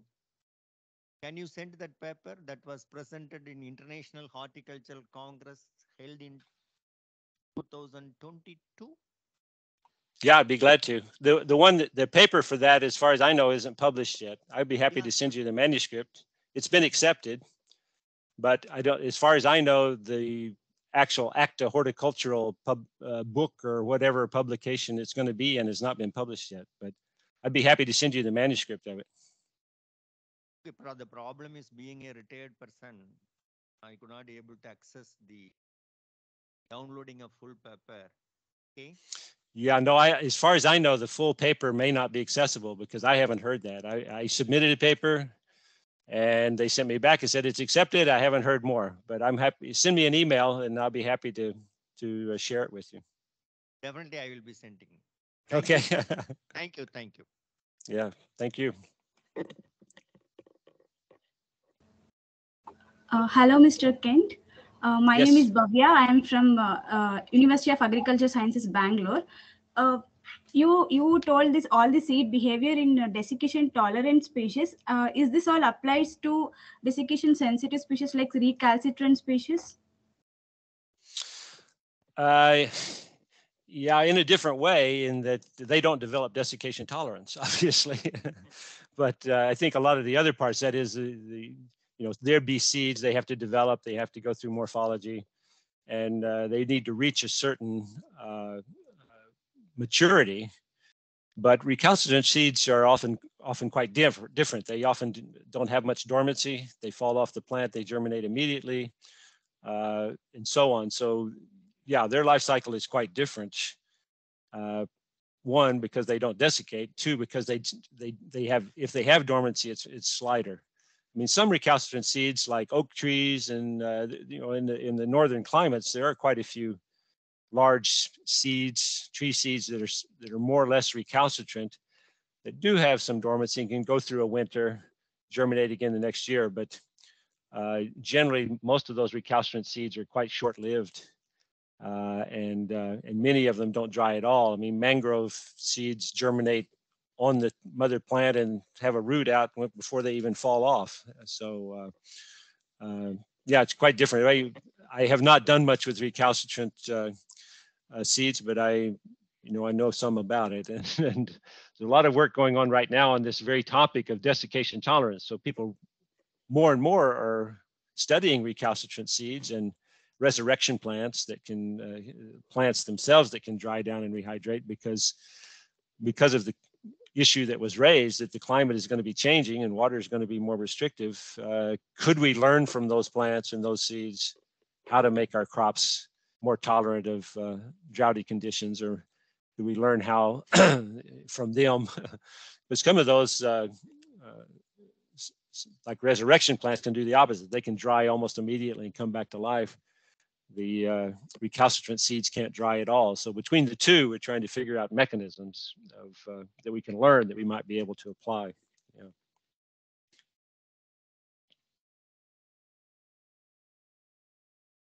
Yeah. Uh, thank you for your response. Not a great answer. I'm sorry, but I don't study that very much. But we have to have a much more detailed answer, I think. Hi, sir. Myself, Abhinaya, second PhD scholar from uh, Department of Seed Science and Technology, T- Tamil Nadu Agriculture University, Coimbatore. Uh, thank you for your wonderful presentation, sir. As a student, we have uh, gained more knowledge about a new topic. So my question is, uh, there are so many factors that influence the seed behavior, sir. But among all those factors, which factor do you think the most related one to decide the seed behavior, sir, based on your work and experience, everything? Which factor is what? Is the most what?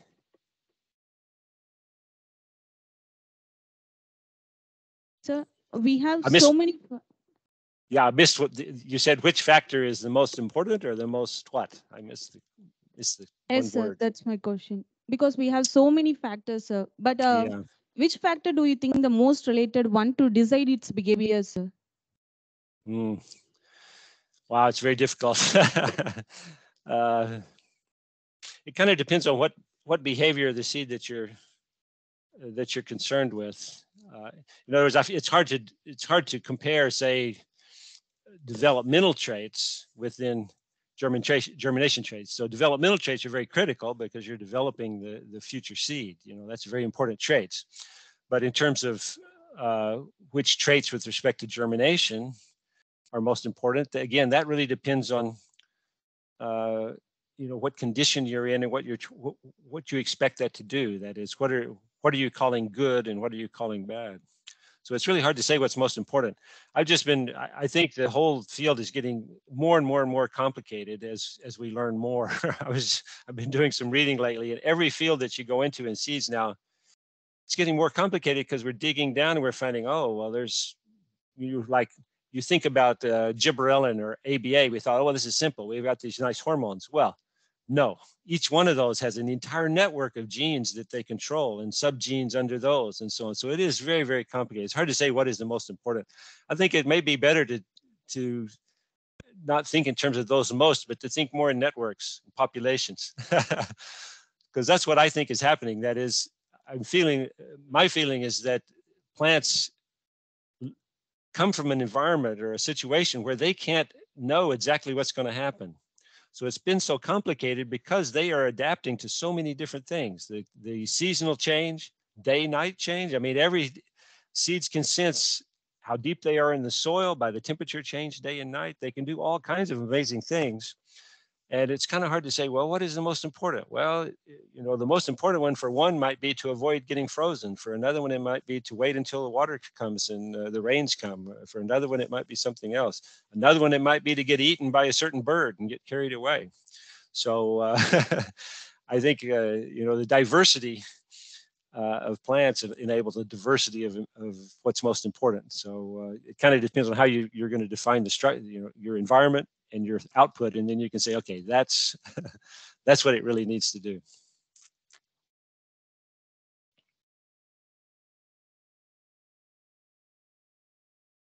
Uh, Dr. Kent, again Vanangamudi. My request as a senior uh, retired professor, with your vast experience and also you have many contacts with many universities, not only in US, but also in Paris, France, and also China. I could be able to read your uh, biodata this morning. Can you help our faculties for any kind of uh, visiting faculties, either at your UC Da- Davis campus, it's a very nice campus, or some other universities this is my request one. Can you again repeat? Can you able to help our faculties currently who are working in this department for a visiting faculty Mhm. by exploiting some kind of uh, fellowship or you can guide them to have uh, which organization is giving a scholarship, okay? Because you are a very senior most uh, professor. And the second thing, and many of our PG students are interested to pursue the higher studies in state universities like UC Davis and other things, probably the graduate and also PhD scholars. They do not know how to apply and uh, get the scholarship. Nowadays, getting Mm. scholarship is very difficult, okay? Not Mm. like uh, 10 to 15 years ago. So this is my another uh, request. Please guide our head of the department or the director in these two uh, lines, the faculty, visiting faculties. I think, I hope that you worked as a visiting faculty in China as well as uh, the Paris. And also accommodating some of our uh, postgraduate students for uh, higher studies at your university or some related university that you might be knowing with your past experience and also the exposure. As a senior professor, retired professor, these are my two requests. I take this opportunity to request these help. Thank you very much. Please. I'm completely sympathetic to your request.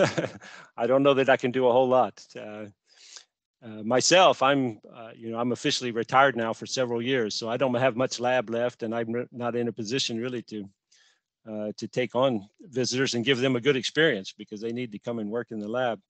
But our program here, the Seed Biotechnology Center, is still functioning. In fact, uh, the professor uh, who took my place, we have a new assistant professor. He's from India, so I mean there'd be a there'd be a close connection there if you want to apply to him. So I think uh, we still are accepting students from all over the world. As you mentioned, the problem is the funding. We do not have a lot of fellowships either. I mean, it's not just that it's hard to apply to them; it's just there's not a lot of those around. So I think uh, it's a it's a challenge. I mean, uh, I think the seed industries of the world need people to be trained. It's not just for more professors and so on. There's a you know there's a, a need for professionals in the seed industry globally. Everybody, uh, uh, these these things are important, and so I fully sympathize with your your encouragement for students to to to go into this field. I I think it's a wonderful field to go into, and I think there's plenty of jobs. I think there's plenty of need for students to study seeds, and there's a lot of need for uh, seed trained seed people to be working in seed companies and also in education and so on, of course. But uh, I would say if students really want to come to UC Davis and as far as apply, how to apply and so on, uh, you know, send me a note. I can direct you to the right people. Uh, just go to the websites and, and look for the graduate programs. The trick, as you say, for graduate school is to find uh, some type of funding. Usually if students can come up with even a small fellowship of some kind, it's very helpful. It's very hard here to just fully fund students with their travel and their living expenses and so on. So I can't be, you know, totally encouraging on this that we can accept a lot of people, but I know you have great people there and, and I've worked with many of them. So I think certainly the, uh, the quality of the students is not limiting. I think you should, if you feel like you want to come, uh, go ahead and apply. I mean, that's all you can, that's all you can do is apply and ask and say, I would really like to come and uh, help me find some support. Kent, uh, I'm Parthiban, working as an assistant professor of computer science in the office of the Dean Agriculture, TNA Coimbatore. Uh, actually, I've explored your uh, massive article uh, as uh, mentioned by the former uh, Dean Agriculture, Dr. Vanangamudi sir. It's massive since 1977, I believe. And it's uh, amazing, interesting, and also explored your recent review article got published in the Nature Heredity. That is mind-blowing work and presentation. Actually, I'm working on the phenotypic variations of rice seed varieties. I'm trying to classify the uh, rice seed varieties that is on intra and interspecific variation using Mhm. geometric morphometrics. So that is particularly on the size and shape related aspects. And Yeah. uh, what is my question is, uh, could you please uh, throw some light on the automated uh, seed classification and the AI algorithms or instruments behind that? So if you could please uh, uh, share your views, it will be helpful for our students as well as for the faculty members. Thank you. Yes, I, th- I think those methods would be very useful if you're if that's what you're doing. If it's if it's morphological uh, variation, these new uh, imaging techniques and analysis can be very very powerful. The instrument we use, this the Videometer, uh, for example, it's being it's being. Uh, I work with a colleague I, who sells those from Thailand, Rhino Research and uh, they have developed that technology to the point where uh, it's being sold throughout uh, Southeast Asia, India, everywhere to uh, particularly with a large Chinese company, CP Group, to basically replace a lot of the uh, testing that's done for quality. So this is on the grain end. I'm, going to get back to your question, but on the grain end, where you're sorting seeds for insect damage and and uh, true to type and all these different things that go into quality, they can pretty much do all of that automatically with this vision system now. So that is, they can identify the problem, they can categorize it into the category, they can estimate the weight from the shape and size and so on. They've trained the machine to estimate the weight because in the marketing world, they want to know what's the weight fraction of damaged seed, what's the weight fraction of cracked seeds and so on they can actually do that. So I think this technology is very, very promising for doing whatever you want to do in the sort of morpho physical uh, sort of area. Uh, I think it could be trained. Uh, the question, for example, in the Seed Testing Association is is doing uh, trueness to type and and different varieties in a mix, you know, in a, in a seed lot. I think that can be done by these automated uh, imaging systems. Uh, so I think that the one the one that we're using has only now started using the, the artificial intelligence uh, background. The other one I mentioned, and, and some others like it, uh, SeedX from Israel, really started with the AI, started with the technology, and is just using. They're just using uh, RGB, just three three image, you know, red, blue, green uh, images. So they haven't even moved into multispectral imaging, and they're already doing pretty good. So uh, I'm quite positive about the, you know, the many ways that these uh, image analysis with, particularly with multispectral image analysis, and then the very detailed sort of training you can do uh, to these AI systems in order to get them to distinguish the features that you want. I mean, if if we have face recognition that can distinguish, you know, one and a half billion Indian people from each other, or one and a half billion Chinese people from each other, we can train them to identify seed traits. I mean, I think the technology is there. So, you know, I think if I were you, I were working in that field, I'd be interested in trying to to look at how that would both, you know, make it a lot easier for me to collect the data, and two, be a much more powerful uh, approach. So yes, I'm I'm quite positive on those technologies, and I think uh, you know we need need more people putting more effort into it. You know. Thank you, Professor. Thank you.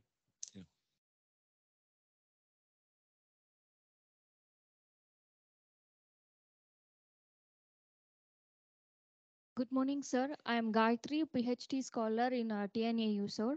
I have one doubt, sir. Uh, you said uh, single seed exhibits transcriptional heterogeneity during the secondary dormancy induction.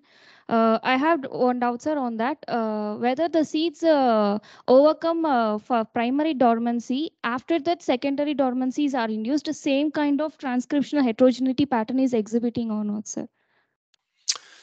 Yeah, that's quite that's an interesting question. I mean, they will know that. Uh, the the right now, uh, the the paper that's been published this last year was really about half technology, uh, technique. In other words, they had learned how to extract individual seeds very efficiently, uh, get good RNA from it, do the sequencing, and so on. And they really have just, at large, they've published. It's just really to show the diversity variability among the different genes expressed. They've not done a whole lot about, you know, networks and so on. But so I think your question is, you know, after you induce the secondary dormancy, release it, is it the same as if it had been before? That's what I understood at least. I don't think they've really, uh, it's progressed. I think they have that work in progress and we can look forward to papers from that group soon. Uh, but at this point, I don't think we know that. There's a few other groups also, a number of different seed groups are starting to move toward this single seed analysis so that we'll start to get, uh, in fact, we're doing some ourselves. We're going to do a little bit different approach. We're going to try to use our respiration measurements, for example. We'll be able to pick individual seeds that we know what they're doing. Are they, are they going to, you know, we're going to be able to pick them off and extract their RNAs right then. so we can get them just before they germinate, we can get them just after they germinate and so on, and be able to much more precisely identify the, the transcriptional programs that are associated with all of these stages and so on. One of the problems I think uh, of a lot of the transcriptome data we have for seeds is the what I just showed you for respiration. That is, in general, people have combined a whole bunch of seeds together and you get just sort of an average view of what's happening to the transcriptome, when in fact, seed by seed, it's not that way at all. So I think now that we have these technologies, seed by seed is good, cell by cell is what they're doing in a lot of medical technology and so on. Once we, it's very, makes, it makes it a lot more complicated, but at least you get a, you know, an individual picture of what's happening. And so instead of trying, you know, you can't both get an entire transcriptome and then follow that same individual to germinate. That's the problem. We can't get them both. We can't grind it up and also get it. So we're going to try to do the best we can where we're following seeds. We have the phenotyping. We know what we're putting into the tube, and then we'll do the transcriptome. And we'll try to really pick apart what the sequence of events are that are, uh, uh, you know, what networks are being turned on and so on without this averaging effect that's going on. So I guess that's the best I can say. I think we're just on the verge of that, but I'm not aware of any really, uh, really very complete data set yet that's really used the single seed or the single cell sort of. More and more, there's uh, uh, reporters. I mean, there's a lot of good work with reporter genes where you can see what a particular gene is doing in the tissue, and that's also a very valuable approach. And it comes down again to cell by cell and seed by seed, but this is going to be the you know the next the next decade of work is going to be really uh, filling in all of that i think yeah Yes, sir. I have read that article also, sir. And you have uh, uh, compared that uh, heterogeneity with germination competence index. Sir. How will you calculate that germination competence index, sir? germination competence index i'm not really sure that i've done that but uh, uh, yeah, fill in your question a little bit more. I, I'm I'm not clear exactly what you're asking. Sir, uh, you have mentioned that uh, we have uh, by identifying the germination competence, uh, how will you identify the germination competence? Mm. Well, yeah. I mean, what we can know is it's very hard to see if when you have a bunch of seeds, which one's going to germinate next. That's the problem. It's hard to know ahead of time which one is going to be which. I guess what I was saying is that we can, we'll at least be able to pick seeds that are have just barely germinated or on their way. But I think we'll, it depends on if we can, from our imaging or from the respiration measurements or something, we can distinguish those that are going to germinate early or late.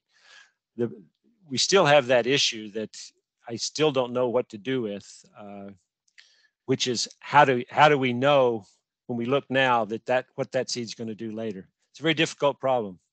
Uh, frankly, I stopped working quite a bit on uh, seed aging because I could not figure out a way to efficiently determine that. that is, if you're doing an aging test and the seeds are dying and you're grinding all the seeds together every time, an increasing fraction of your sample is made up of dead seeds that are contributing you don't know what. so uh, until we could get methods then where you could actually, uh, I do know a way to do that. What you could do is you can cut a seed in half and you could save one half and you could do a tetrazolium test on the other half. You can say, are you viable or are you not viable? Then you could go back to the other half and say, okay, you're a, you're a half of a seed from a dead seed and you're a half a seed from a viable seed, and you could separate them out if you wanted to follow what's happening over the time course of aging.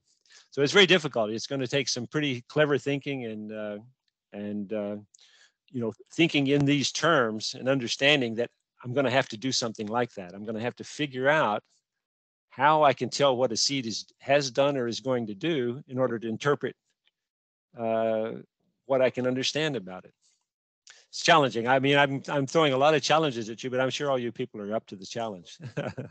I'm trying to get you to look at this a little differently and say, as long as we just keep combining together a lot of dead seeds and live seeds and saying the average is reality, that's not going to work.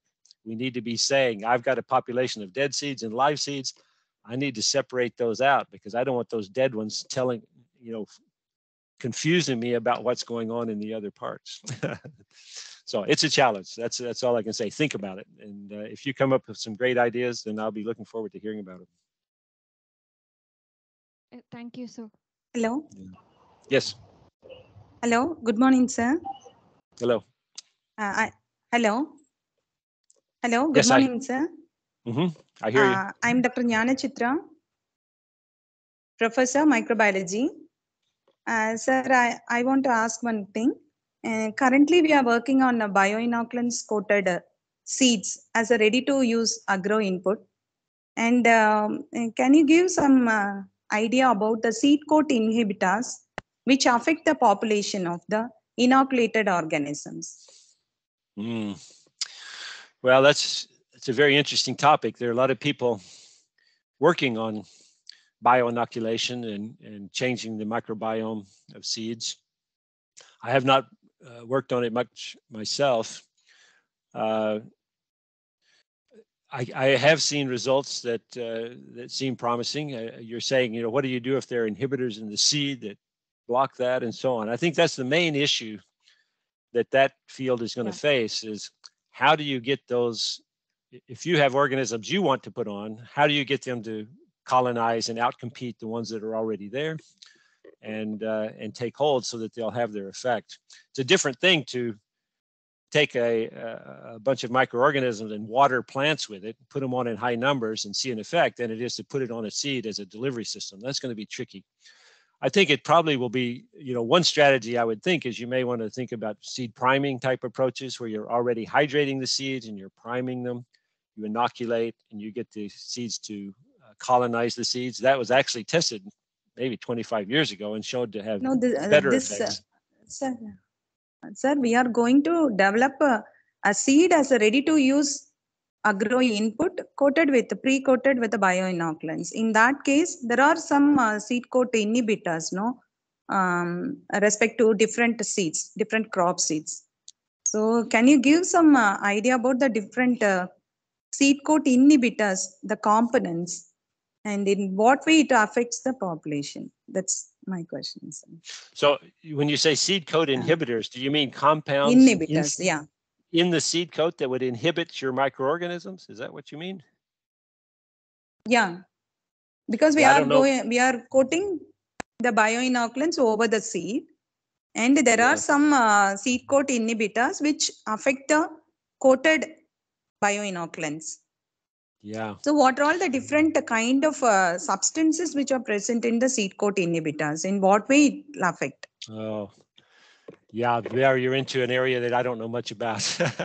There are a lot of compounds and I was just reading some about Oh. that today. There are lots and lots of compounds depending on seeds. I mean, for example, some seeds, you know, the seed coat is the dormancy mechanism. Hard seeds that are impermeable, you have uh, seeds with all kinds of uh, uh, compounds that are allowing it to communicate with the microorganisms and fungi and so on. So that's a very complicated area.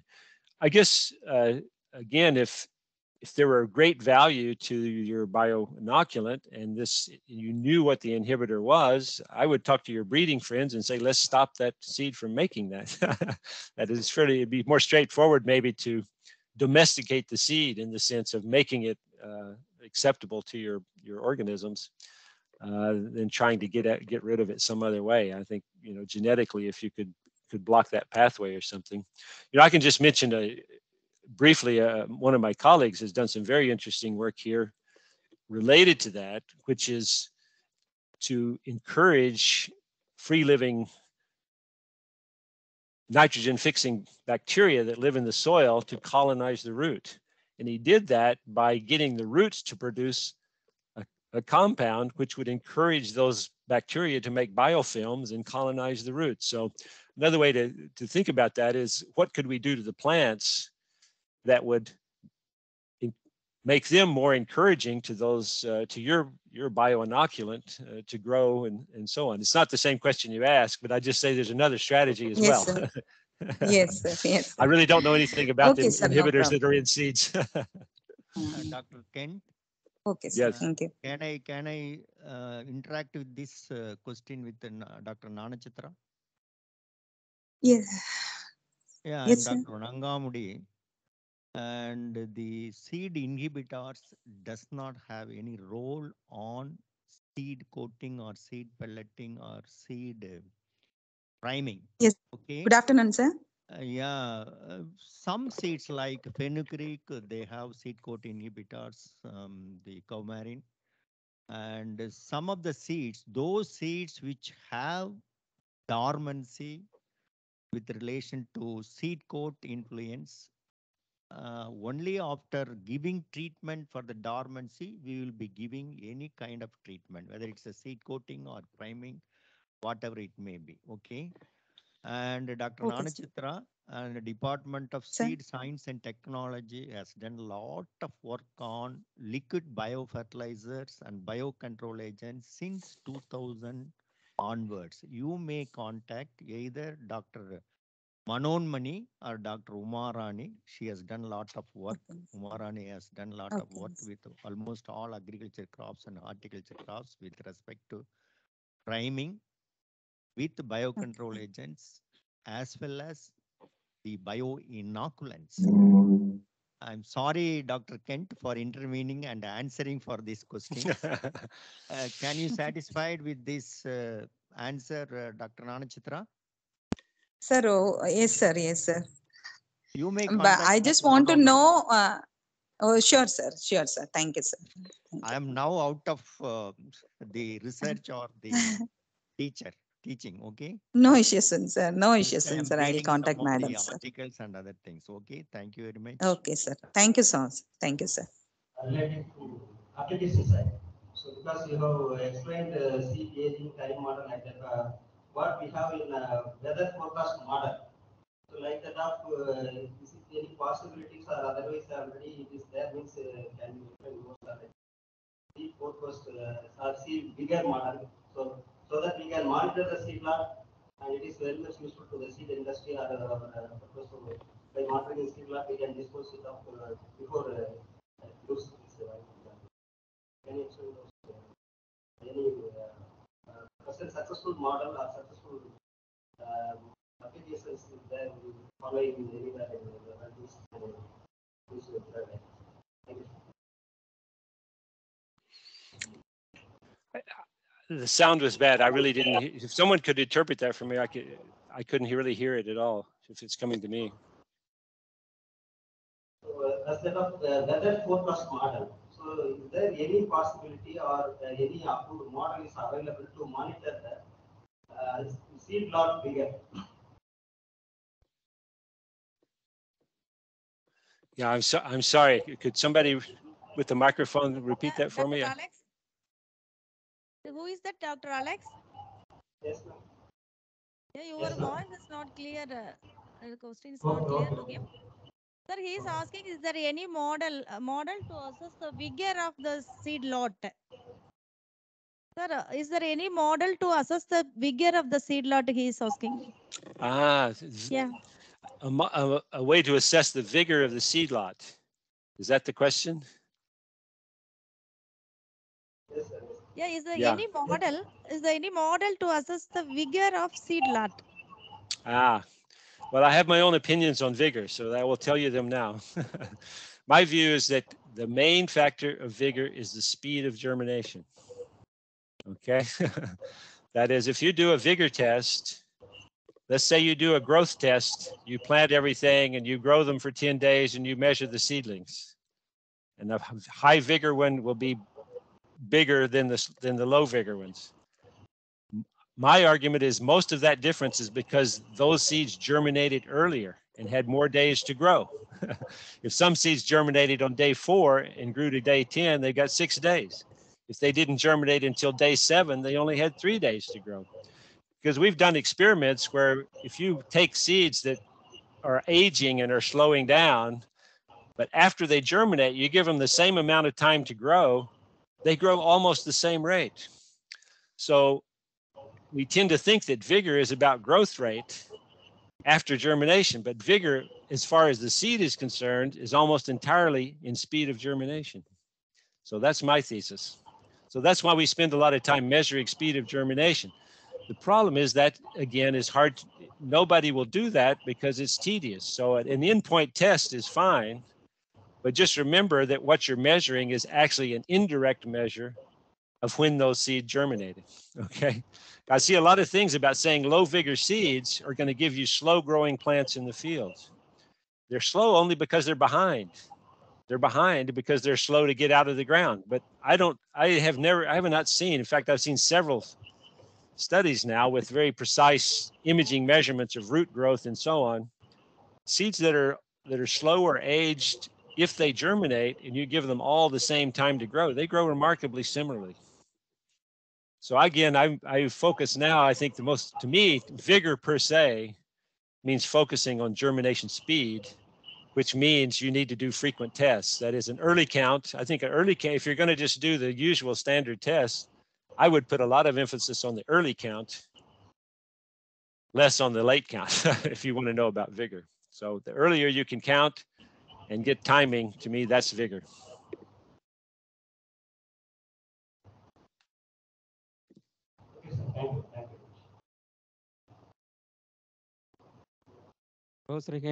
Good evening. So this is Dr. Rivera from Tamil Nadu Agriculture University. I need your opinion on one of the basic uh, seed science concept. So at present, uh, that uh, seed lot quality is assessed on sample basis. So whatever that results, we are going to get that particular sample. Based on that, we are offering some treatment for that uh, entire seed lot, particularly that uh, insecticide and fungicide treatment. So uh, uh, that lot may have some seeds may have a pathogen infections and many of them not having any pathogen infection. Uh, uh, for uh, without knowing all those things, we are offering the treatment for entire seeds. What is your opinion on this? Not only this pathogen, uh, the per seed quality enhancement, that is seed germination enhancement. Also, we are offering that uh, GA3 treatment, all those things. Some of the seeds are uh, so without that GA3, they have a potential to germinate within that lot. Some of them need up some GA3. Some of them are needing a higher amount. But in all the cases, we are offering uh, uh, that particular treatment at a particular dose. What's your opinion on this? Yeah, those are very good questions, and uh, it's it's always an issue in seeds. Uh, the sample that you take is the most critical thing. that is, uh, you know, if you just go to a giant bin and you take a few off the top, that's not it. You have to probe the entire bin, mix it all together, and then mix, mix, mix to make sure that you get an ac- an accurate sample of the overall thing. So, I mean that that's very challenging, but that's that's step number one. The second thing you mentioned I've only recently become kind of thinking about is, is as you say, if you do a sample and you say, okay, I've got a certain pathogen in there, I can give a certain treatment and try to kill those. Well, what I've told you about seeds, that's also the case for the pathogen, that they are variable and they have different thresholds. So you may be give enough, you may give a dose that you say will kill 90% of the pathogen. You may have left then the most resistant fraction to grow again, if you see what I mean. So in a sense, uh, I think it's a big issue that we need to think about. That is, you don't want to just way overdose things and kill, try to kill everything because then you use way too much pesticide.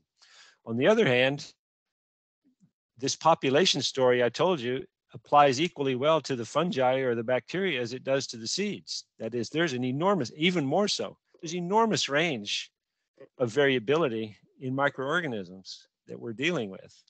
And if we try to give it one shot, one treatment, then you know it's more effective than nothing.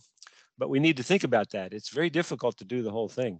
What what I I could give a whole nother lecture on this, but uh, we're big advocates for preventing those types of problems, insects, diseases, and so on in seeds, of drying the seeds to low moisture contents and then sealing them from the environment. So all you need is, uh, you know, sealable containers, plastic bags, whatever can keep them from the humidity. And you need a drying system to get them really dry because neither insects nor fungi will grow, or bacteria really will grow at low relative humidities, low moisture contents. So, uh, and you don't need pesticides then. So that would be my, I would take a different strategy uh, to avoid those uses, but that requires other technology, but it's simple technology. Dry the seeds, make it dry and keep it dry use dry chain te- technology and, and try to uh, to deal with it that way. So that that's my two opinions. One, it is a real big problem. Two, think about drying if you're having insect and uh, and pathogen problems in stored seed.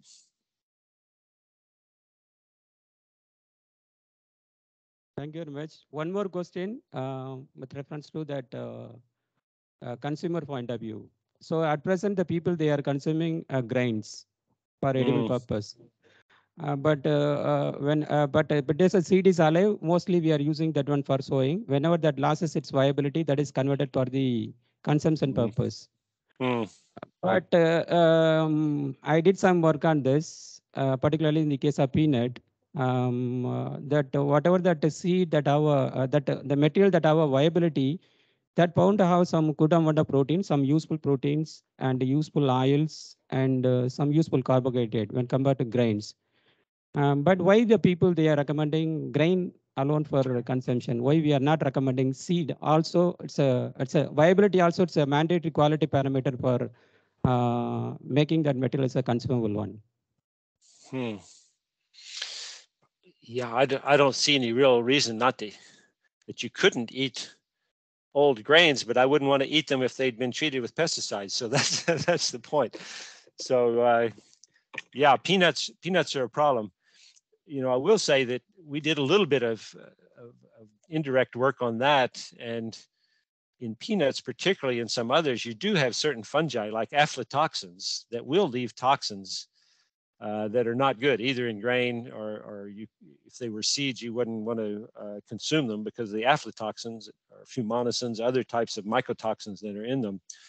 And again, this would be another argument to me for for right at harvest as soon as possible, dry the seeds below the level that fungi can grow, which is below about 65% relative humidity, or it depends upon the different uh, oil content, what that would equilibrate to and moisture content. But if you can get them dry enough, then you stop further development of those fungi as well that make toxins. So uh, I have a different view on that. I, I'm a big advocate for let's try to, to move as quickly as we can for both grains and seeds, particularly in humid environments like you have there, get them out of the field, get them very dry, and then get them into containers that protect them because they will absorb moisture back from the air. So you have to dry them and then protect them. And, uh, and then going back and forth between being a seed or being a grain to eat is very simple because you're not using pesticides then to control those uh, control those organisms and both of them will store much longer the grain the nutritional quality is preserved or the viability for seed is preserved i'm directing your question a little different way but but uh, i'm uh, trying to proselytize a little bit for uh, for drying Thank you, sir.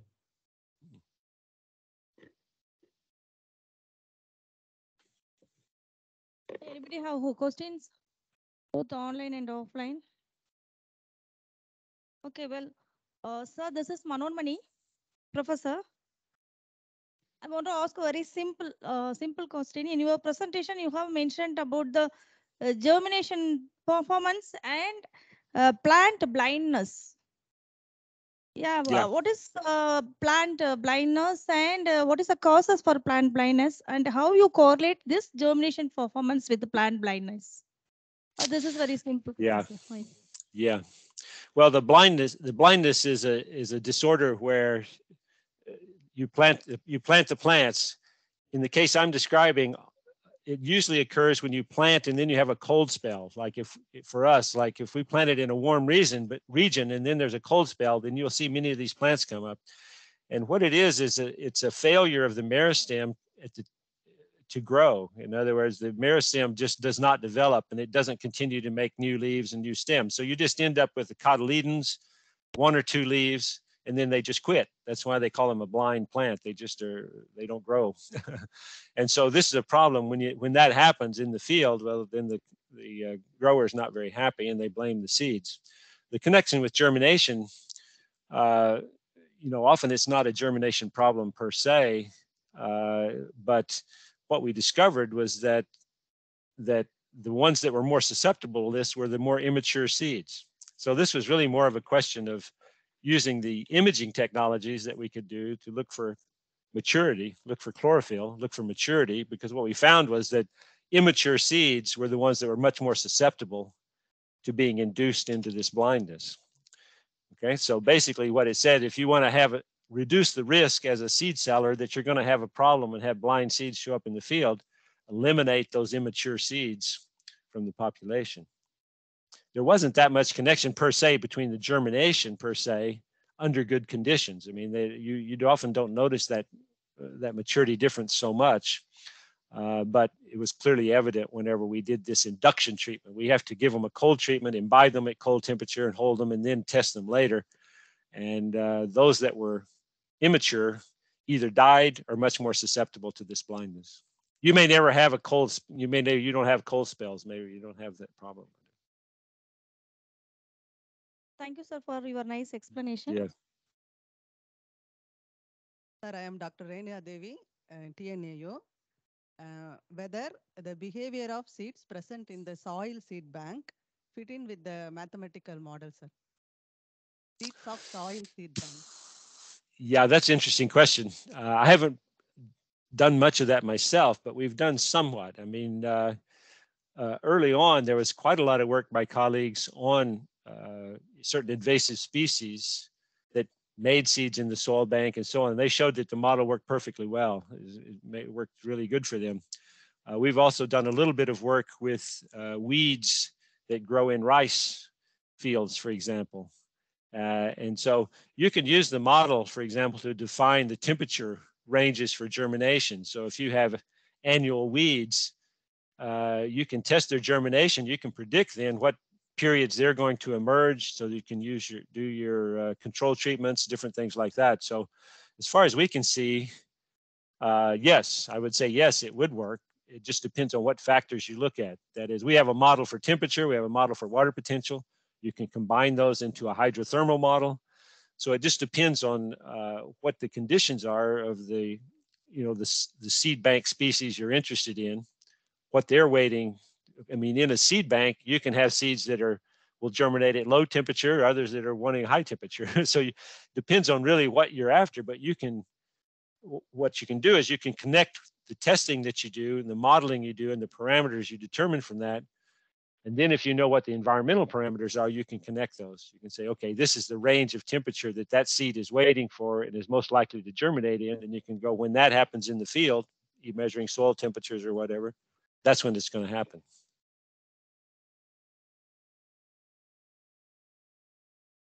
Is there any more uh, clarifications or doubt? Okay, if you, yeah, almost we have uh, come to the end of the session.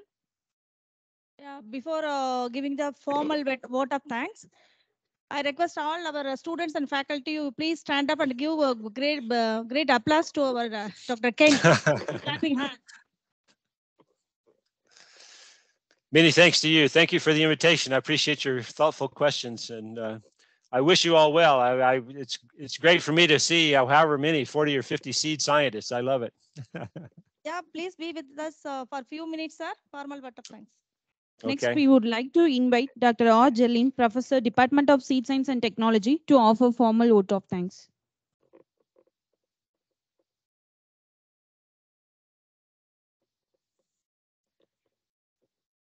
respected and honorable vice chancellor respected dean school postgraduate studies respected director seed center and respected professor and head department of seed science and technology tnau and the distinguished guest speaker of today's event dr kent bradford respected former dean agri and our professor and head dr k vanangamudi and uh, all the participants who have joined online and offline for this uh, great lecture, student friends and other staff members.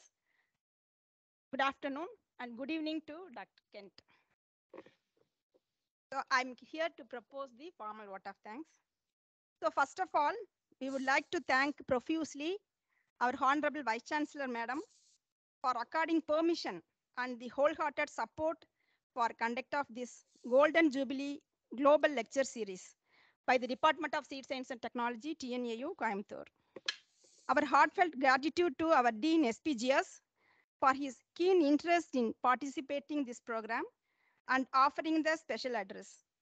We profusely thank the Director Seed Center for her constant encouragement and all for, and for all the arrangement of this lecture series and unconditional support for the conduct of this particular lecture. And it is our bounden duty to thank our professor head, Department of Seed Science and Technology, Coimbatore, for her overall guidance and appreciative efforts in arrangement of all these lecture series. So it's our great privilege to wholeheartedly thank today's guest speaker, Dr. Kent Bradford, an eminent physiologist for accepting our invitation, sparing his valuable time, and for sharing his vast and rich experience on seed behavior. Sir, your enriched knowledge on seed population dynamics has enlightened all the participants with various aspects of seed biology. We really thankful for your amazing lecture, sir. So our gratitude are to the participants who evinced their keen interest in participating this lecture through offline and online from various places and also for their active involvement in the interaction. Our special thanks are due to our former Dean Agri and Professor and Head Department of Seed Science and Technology, Dr. K. Vanangamudi. He showed his keen interest and coming over here and attending this lecture and sharing his experience also. Our thanks are due to the students and all the other staff members of Department of Seed Science and Technology and Seed Center for their keen support in organizing this lecture.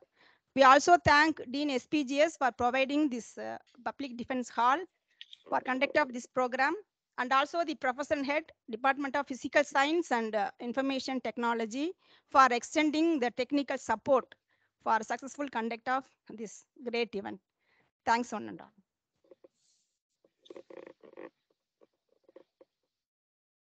Thank you, Kent. Yeah. Thank you all so much. Congratulations on yeah. your, congratulations you. on your golden anniversary. Okay.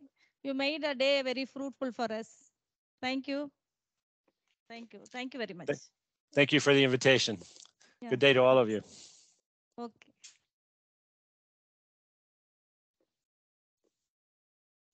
Thank you everyone for making this occasion a great success. With this, we are completing this session and the session is closed. Thank you. Thank you. Bye.